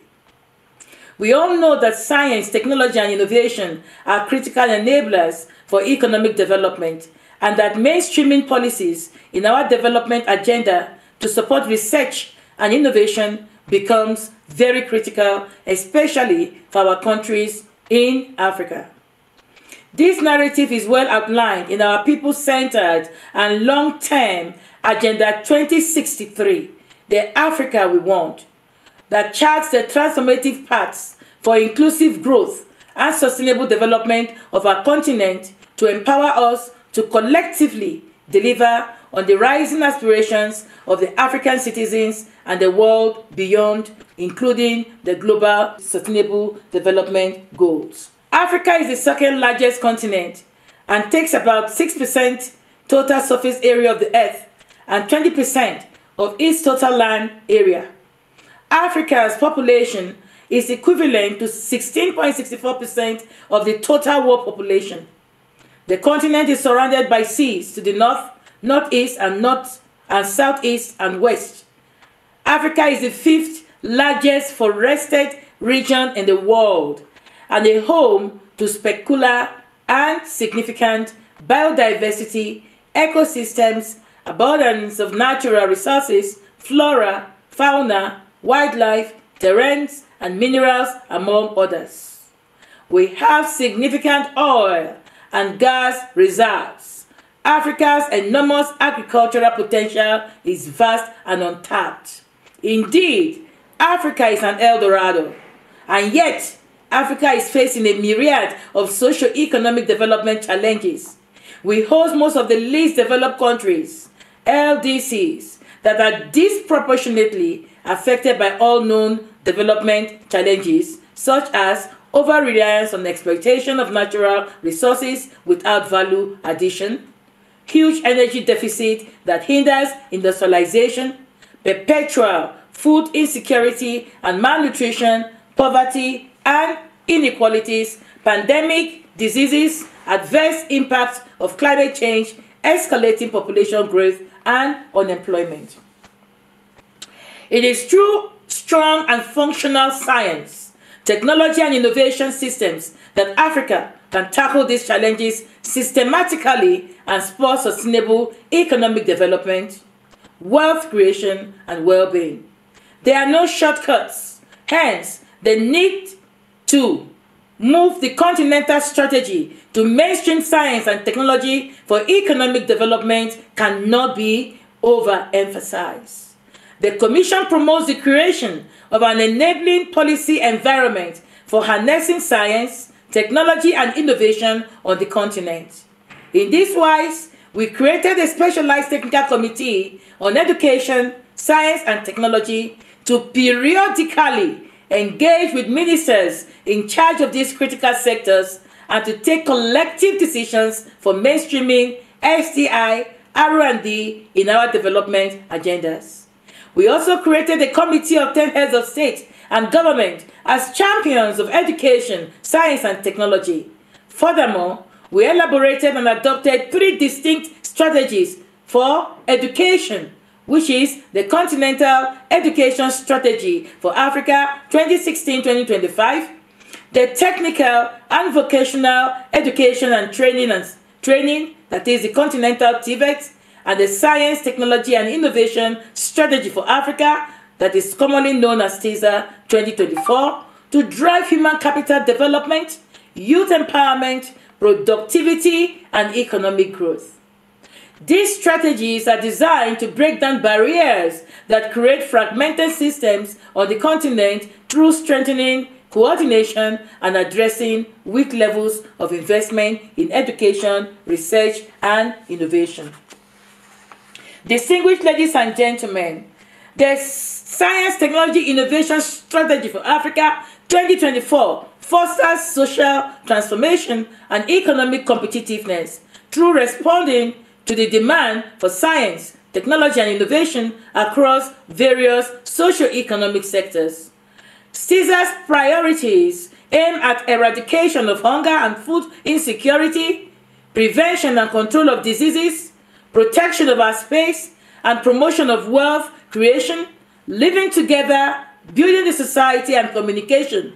Furthermore, it promotes building and upgrading research infrastructures, enhancing professional and technical competencies, innovation and entrepreneurship development, as well as creating an enabling environment for STI.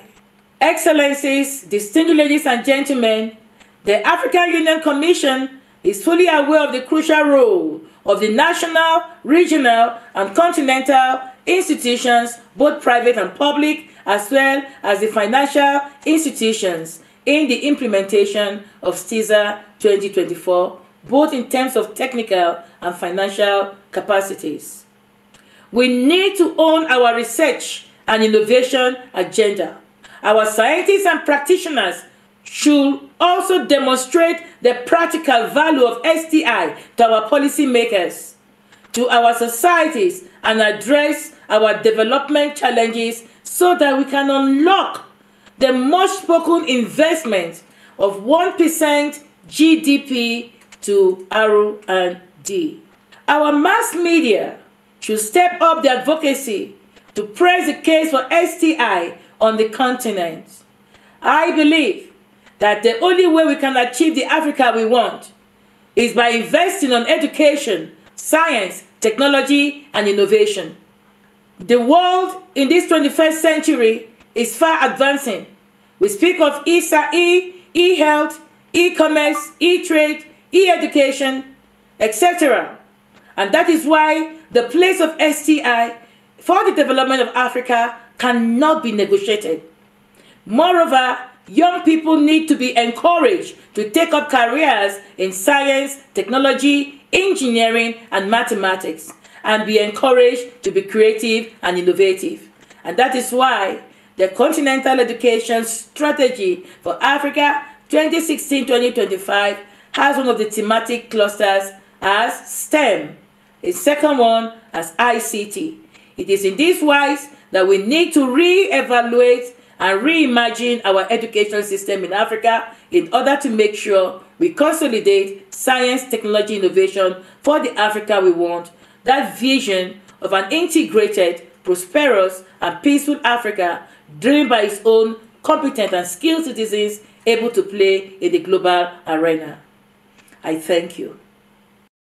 Uh, Professor Sarah Anyang Agbor, thank you very much uh, for those comments. Absolutely vital. And I think they answer some of the questions and comments uh, that we have had uh, on the session today. Sadly, and I have to say sadly, and I say it sincerely, have to leave you on the wider world of the web. But on CNBC Africa, we're going shortly uh, to Closing Bell, uh, South Africa. But in the meantime, my colleague, uh, Adeze Anyawoko, is going to take over and uh, she will continue with the rest of the program. We thoroughly enjoyed hosting you here on CNBC Africa. And we're certainly also playing our role, by the way, in terms of disseminating that information about the importance of STEM subjects and also the importance of uh, innovation on the African continent.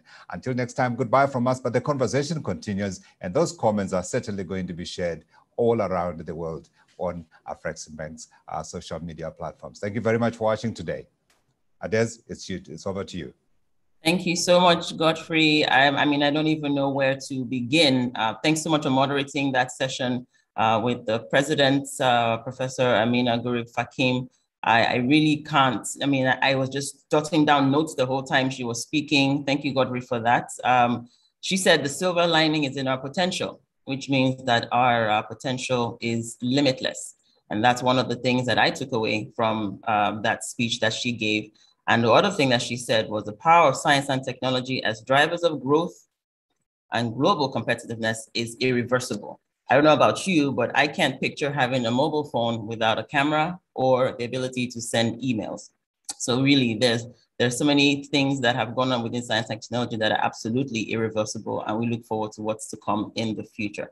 So thank you once again, um, Madam President, for joining us today. We appreciate it, and also our thanks to the AU Commissioner uh, for Human Resources, Science and Technology for those remarks that she also delivered. All right, so we're going to segue just a little bit um, into a bit of a musical interlude. I'm going to uh, invite uh, a, musical interlude from the Cameroonian artist. Her name is Miss Joyce Babatunde. She is um, located in Douala, I believe. And um, she's one of such creatives that the bank is committed to supporting through its CANEX program. Um, that program is set up to finance projects and support the creative industry. And for those of you who do not know, um, the African Union's theme for 2021 is actually the year of arts, culture, and heritage. So please enjoy this short interlude from Ms. Joyce Babatunde. Hello, everyone. My name is Joyce Babatunde, and uh, this song is dedicated to our dear founder, Mr. Babacar of Afreximbank. We also want to thank Afreximbank for hosting this event, and we are sending love to all the viewers joining us for the fifth annual Babacar Ndiaye Lectures. Thank you very much. Salut! Moi, c'est Joyce Babatunde et cette chanson est dédiée à Monsieur Babacar Ndiaye, le fondateur d'Afreximbank. Merci Afreximbank d'accueillir cet événement et nous remercions aussi tous ceux qui nous rejoignent pour cette cinquième conférence Baba Kanjai. Merci.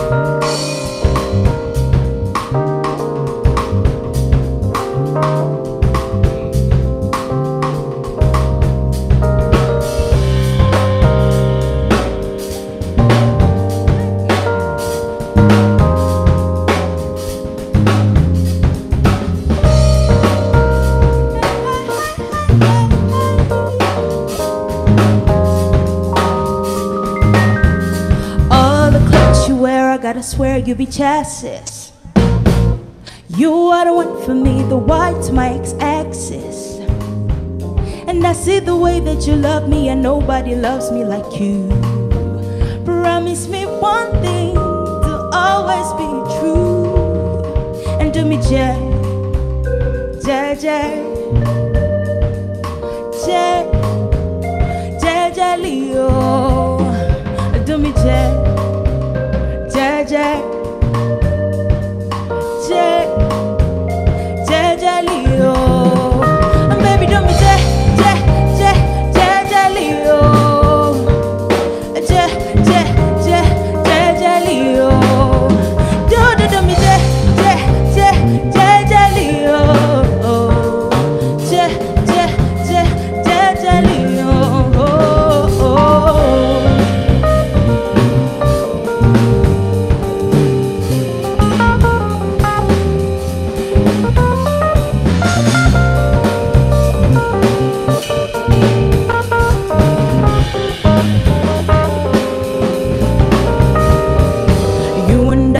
Will leave as one. Our love will last forever. I say on the rain and on the sun and holy strong, no asunder. That's so it's supposed to be. The way you love me, yeah, yeah, yeah, yeah, yeah. You love me faithfully and tenderly. The way you love me, yeah,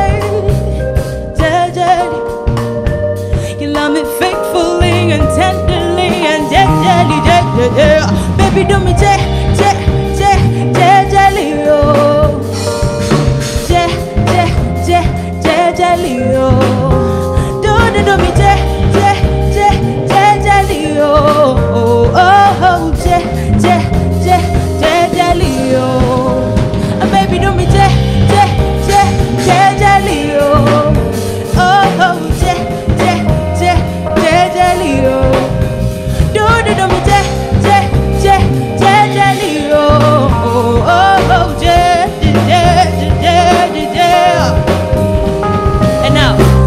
love is dead in this new age, but we are rock solid like the Stonehenge. We defy the odds, we are kinda odd, cause we are both freaky and we love God.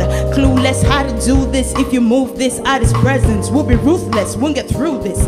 But you slew the peace when you put the peace on my heart, the beats on my heart, the beats on my heart, the beats. uh. With you, I am home. This is blessed. No, be luck. No, no, no, be luck. No, no, no. The world it will change for your love. It will not, na, na, na, na, na, na, na, na. Ish. The world it will change for your love. It will not, na, na, na, na, na, na, na, na, na, na, na, na, na. Baby, do me tell. Jejeli, jejeli, oh, oh. Jejeli, jejeli, jejeli. Jejeli, jejeli, jejeli, oh, oh, oh, oh, oh, oh, oh, oh, oh, oh,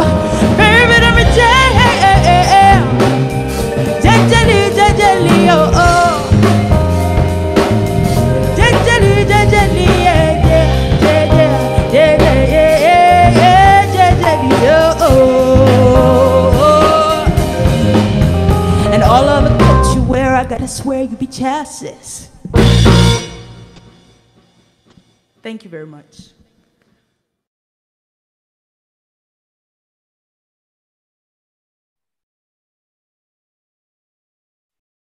And that was Miss Joyce Babatunde from Cameroon. Thank you very much, Joyce. Okay, so before we round up for today, let me share the worst kept secret on the continent with you. And that's to tell you a little bit about the Intra-Africa Trade Fair coming up next month in Durban, KwaZulu-Natal, South Africa. Now, the Intra-Africa Trade Fair, IATF 2021, as we call it, um, is an event promoted by Afreximbank in collaboration with the African Union and the AFCFTA Secretariat, that's the Africa Continental Free Trade Agreement Secretariat. And the host of this year, like I said, is Durban, KwaZulu-Natal, South Africa. Now, the very successful maiden edition of the IATF took place in 2018 here in Cairo, Egypt, which saw about $32 billion in deals that were closed, attended by over 7,500 delegates and had about 1,000 exhibitors. This year, however, promises to be even bigger, despite COVID. And uh, we're expecting about $40 billion in deals, um, over 10,000 delegates. And of course, we are expecting you to be there as well. Now, IATF 2021 will consist of several verticals. We have the exhibition, and we have people from all over the world who are going to be there exhibiting, uh, with buyers and sellers who are also going to be on hand. There'll be a trade and investment forum. There'll also be the Creative Africa Nexus Summit, which is the first time we're having that. Like I mentioned before, the CANEX program is a program set up by the Afreximbank to support and finance projects and um, talent within the creative and cultural industries. There's also going to be an automotive show. Yes, an automotive show. So if you're uh, a vehicle and automotive enthusiast, I'm sure you're really going to love that. There'll also be a youth pavilion, a youth startup pavilion. So there really is something for everyone and you can't afford to miss it. Lastly, there'll also be country days. Now, this is an opportunity for country represented to come and showcase their culture, the wealth and diversity that each of these countries have. South Africa, of course, in itself is such a diverse and beautiful country, so you really can't afford to be there. If you do come, make sure you take an extra day or two to sort of travel around and see the country as well. Like I said, all roads lead to Durban, um, uh, November 15th to November 21st, 2021. And uh, tell your friends, tell your colleagues, tell your families. The IATF is an initiative to support the AFCFTA, which of course presents opportunities to boost growth, reduce poverty, and of course make African countries more competitive.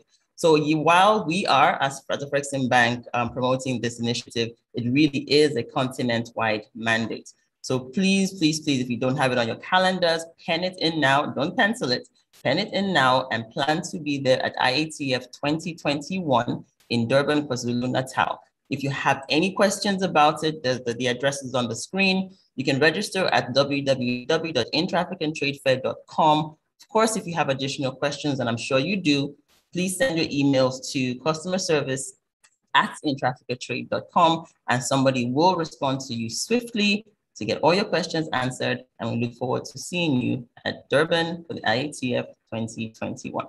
So we have a little video to run for you now. It will tell you a little bit more about IATF in a nutshell. Um, we'll, uh, there's another video about the Creative Africa Summit or the Creative Africa Nexus, and then an Afreximbank ad, after which I will come back and pass it on for the closing remarks to round up this event today. It's been great so far. Thank you for sticking with us. Let's watch the videos.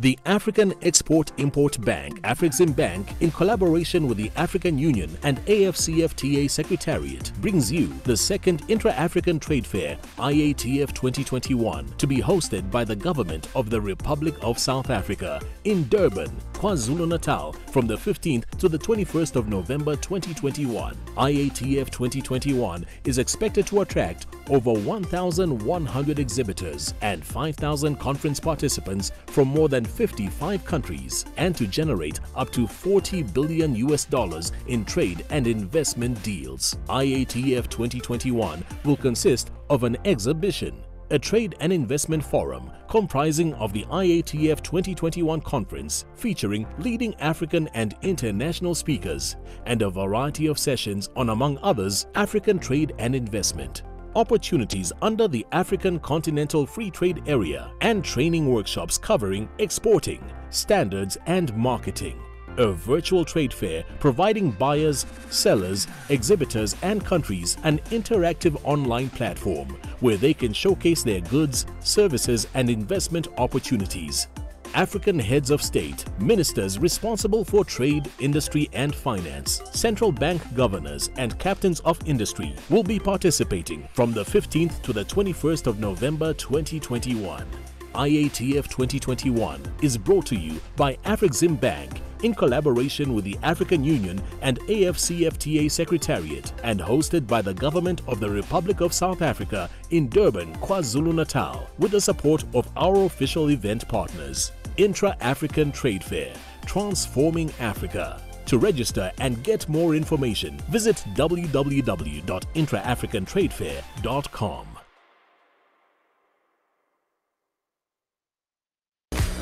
Africa's soul is creative. Our music is our heartbeat.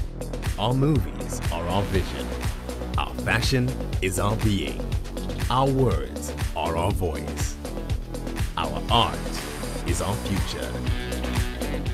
Africa's creatives are rising within a mobilizing economy, ready for investment and growth. The Creative African Nexus, brought to you by Afrexim Bank, will take place in Durban, KwaZulu-Natal, South Africa, from 15 to 21 November 2021. With over 3,000 participants from across Africa and the globe, Creative Africa Nexus will be the largest gathering of creatives, policymakers, investors, funders, financial and government leaders that Africa has ever seen. The future of African creativity is here.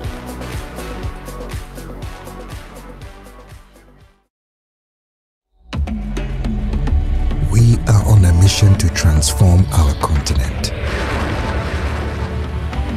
and empower African trade to thrive by accelerating the next generation of African businesses, we can grow stronger, trade further, and transform together. We're bringing Africa together. Afrexim Bank, transforming Africa's trade. Indeed, we are on a mission to transform the African continent, transform Africa's trade, one transaction at a time, one trade at a time. All right, I look forward to seeing you all in Durban, KwaZulu Natal, South Africa, November 15th to November 21st, and um, be there.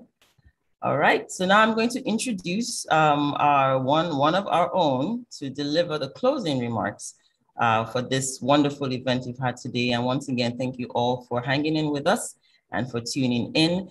Let me introduce Dr. Hippolyte Fofack, the last doctor we have on the panel today, or on the event today. Dr. Fofack is the chief economist at the Afrexim Bank and also the direct director of research and international cooperation. Dr. Fofack, the floor is all yours.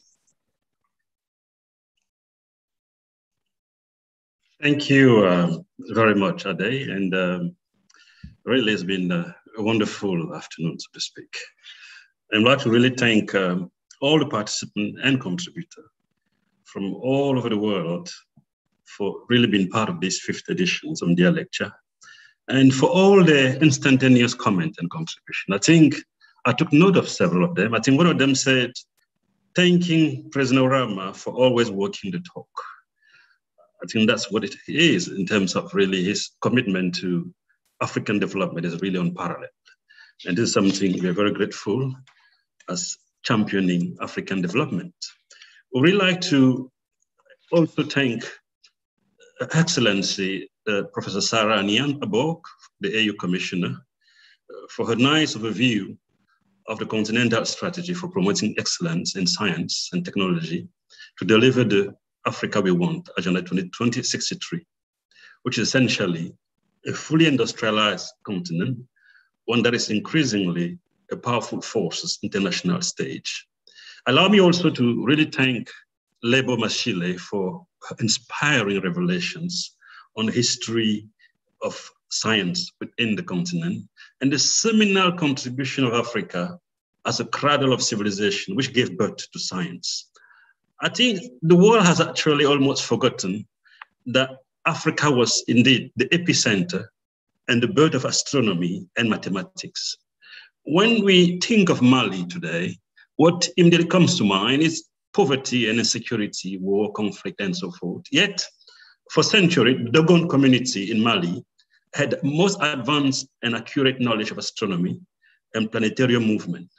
The Dogon have been so much in tune with planetary movement that their traditional ceremony, the Sigui celebrations, has for centuries been fully aligned with movement of an invisible and unknown star until 1970. And that star, that star is Sirius B. And the Dogon knew that star, that Sirius B actually travel around Sirius A every 50 years in an ecliptic manner. And that's where they actually decided to have the traditional ceremony revolving around that special star and something which was completely unknown, as I said, by the rest of the world, including the Western world, until 1970s. But the Dogon pioneering leadership and accurate astronomical knowledge is well documented in a seminal book by Robert Temple, The Sirius Mystery, which was first published in 1977 and revised a decade later in 1998.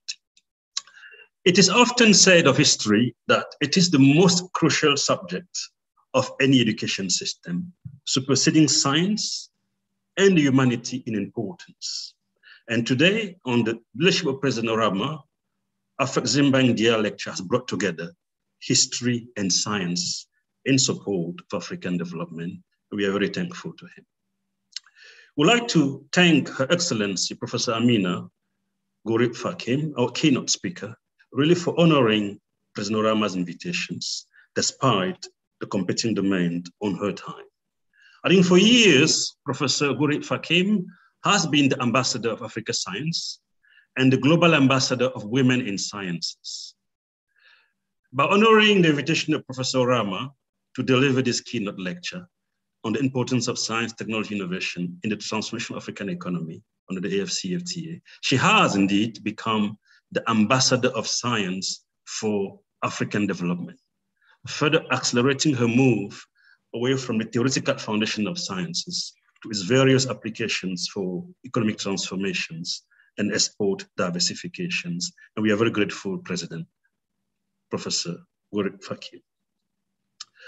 Her thought-provoking and moving keynote has further burnished her global standing as the world-renowned scientist who is also very much concerned about development, should I say sustainable development in the face of heightening climate change related risk. In fact, COP29, COP26 is just around the corner, where the UK is very much expecting Professor Gurib Fakim in the coming days. Her Excellency, Professor Fakim, we are immensely grateful and would like to thank you for championing the transformation of African economies and diversifications of African trade through excellence in science. Science has been the path to industrializations and sustainable growth for decades. Science has been the vector of competitiveness and effective integration to global economy. Science has been the path toward long-term security and development. In our view, science is power. Science is power projections. Science is power and power projections. Excellency you argue that successfully transforming African economy under the AFCFTA, which has been touted a game changer, largely depend on the speed at which Africa will close its scientific and technological gap with the rest of the world. But you did not just articulate the critical importance of science for transformations, you also outlined policies to close Africa's scientific and technological gap with the rest of the world to foster global income convergence. In particular, you stressed the need to capitalize on both favorable demographics and digitalizations, which is accelerating the process of innovations and technological transfer. Africa has the youngest population, as you said, and the challenge lies in sustainably investing in that youth to produce a critical mass of world-class engineers and scientists within each cohort to consistently drive the process of industrializations and eventually lift the supply side constraint to ensure enhanced implementations of the AFCFTA. We also welcome your recommendation to establish a dynamic tripartite partnership between academia, public and private sector to mainstream and sustain the transition toward evidence-based policymaking across the regions. Afreximbank, under President leadership, will play its part. It has been doing that, especially in its engagement with sovereign and corporate entities across the continent. Since its inception, Excellency, we're pleased to know that Afreximbank has been championing and leading the transformation of African economy through trade. Technology and innovation have been important drivers of global competitiveness and increasingly economic complexity, as amply argued and reiterated by both you and President Oramah today. We look forward to drawing on the emerging tripartite partnership, academia, public and private, to accelerate the process of economic transformations.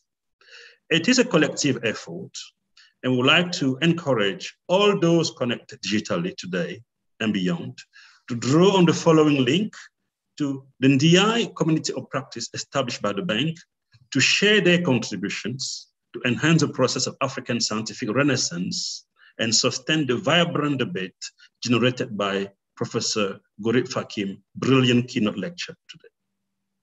And that link is provided, and Professor Gurib Fakim brilliant lecture will be disseminated via that link, among others. We also We'll also be sharing with you digital copies of two important pieces of work done by the bank, specifically a book on the history of African trade and the proceedings of last year's lecture on Africa and the remaking of the New World Order, delivered by, by the greatest geopol geopolitical leaders, Professor Kishore Mahbubani. Finally, I would like, on behalf of His Excellency President Benedict Oramah, to acknowledge and thank all those who worked tirelessly to make this event such a success, including the moderator of our sessions, Mr. Godfrey Mutizwa, Editor-in-Chief of CNBC Africa, Brand Communications, IC Publication, the leadership of Omar Ben Yedder, and last but not least, certainly, our IT colleague, as well as RICO's and co-event staff, community and event organizing staff. After this important milestone, the fifth editions of Ndiaye Lecture, undeterred by COVID-19, we are now eyeing the 10th editions. But to get there, we look forward to seeing you next year on the sixth editions. And will, on behalf of Professor Oramah, like to thank you once again for your continued support and engagement. Thank you very much. Thank you very, very much, Dr. Fofack, for those closing remarks. There's nothing really left to say after that. And so I will say this brings us officially to the end of the fifth annual Babacar Ndiaye lecture. I thank you all very, very much for joining us. One nugget I will leave with you, which I'm taking away, which was said by uh, the president, uh, Ameenah Gurib Fakim. If you wish to move a mountain tomorrow, we need to start lifting stones today. And together we have lifted at least a few stones by sharing information and having this event today. So thank you all once again for joining us. Please follow us on social media. Uh, we are at Afrexim Bank Official on Instagram and at Afrexim Bank on Twitter, LinkedIn, Facebook, and YouTube. Um, I look forward to seeing you all again next year. But before that, I look forward to seeing you in three weeks in Durban, KwaZulu-Natal, South Africa. Until then, have a wonderful rest of your week. Please be well and stay safe. Thank you. Bye-bye.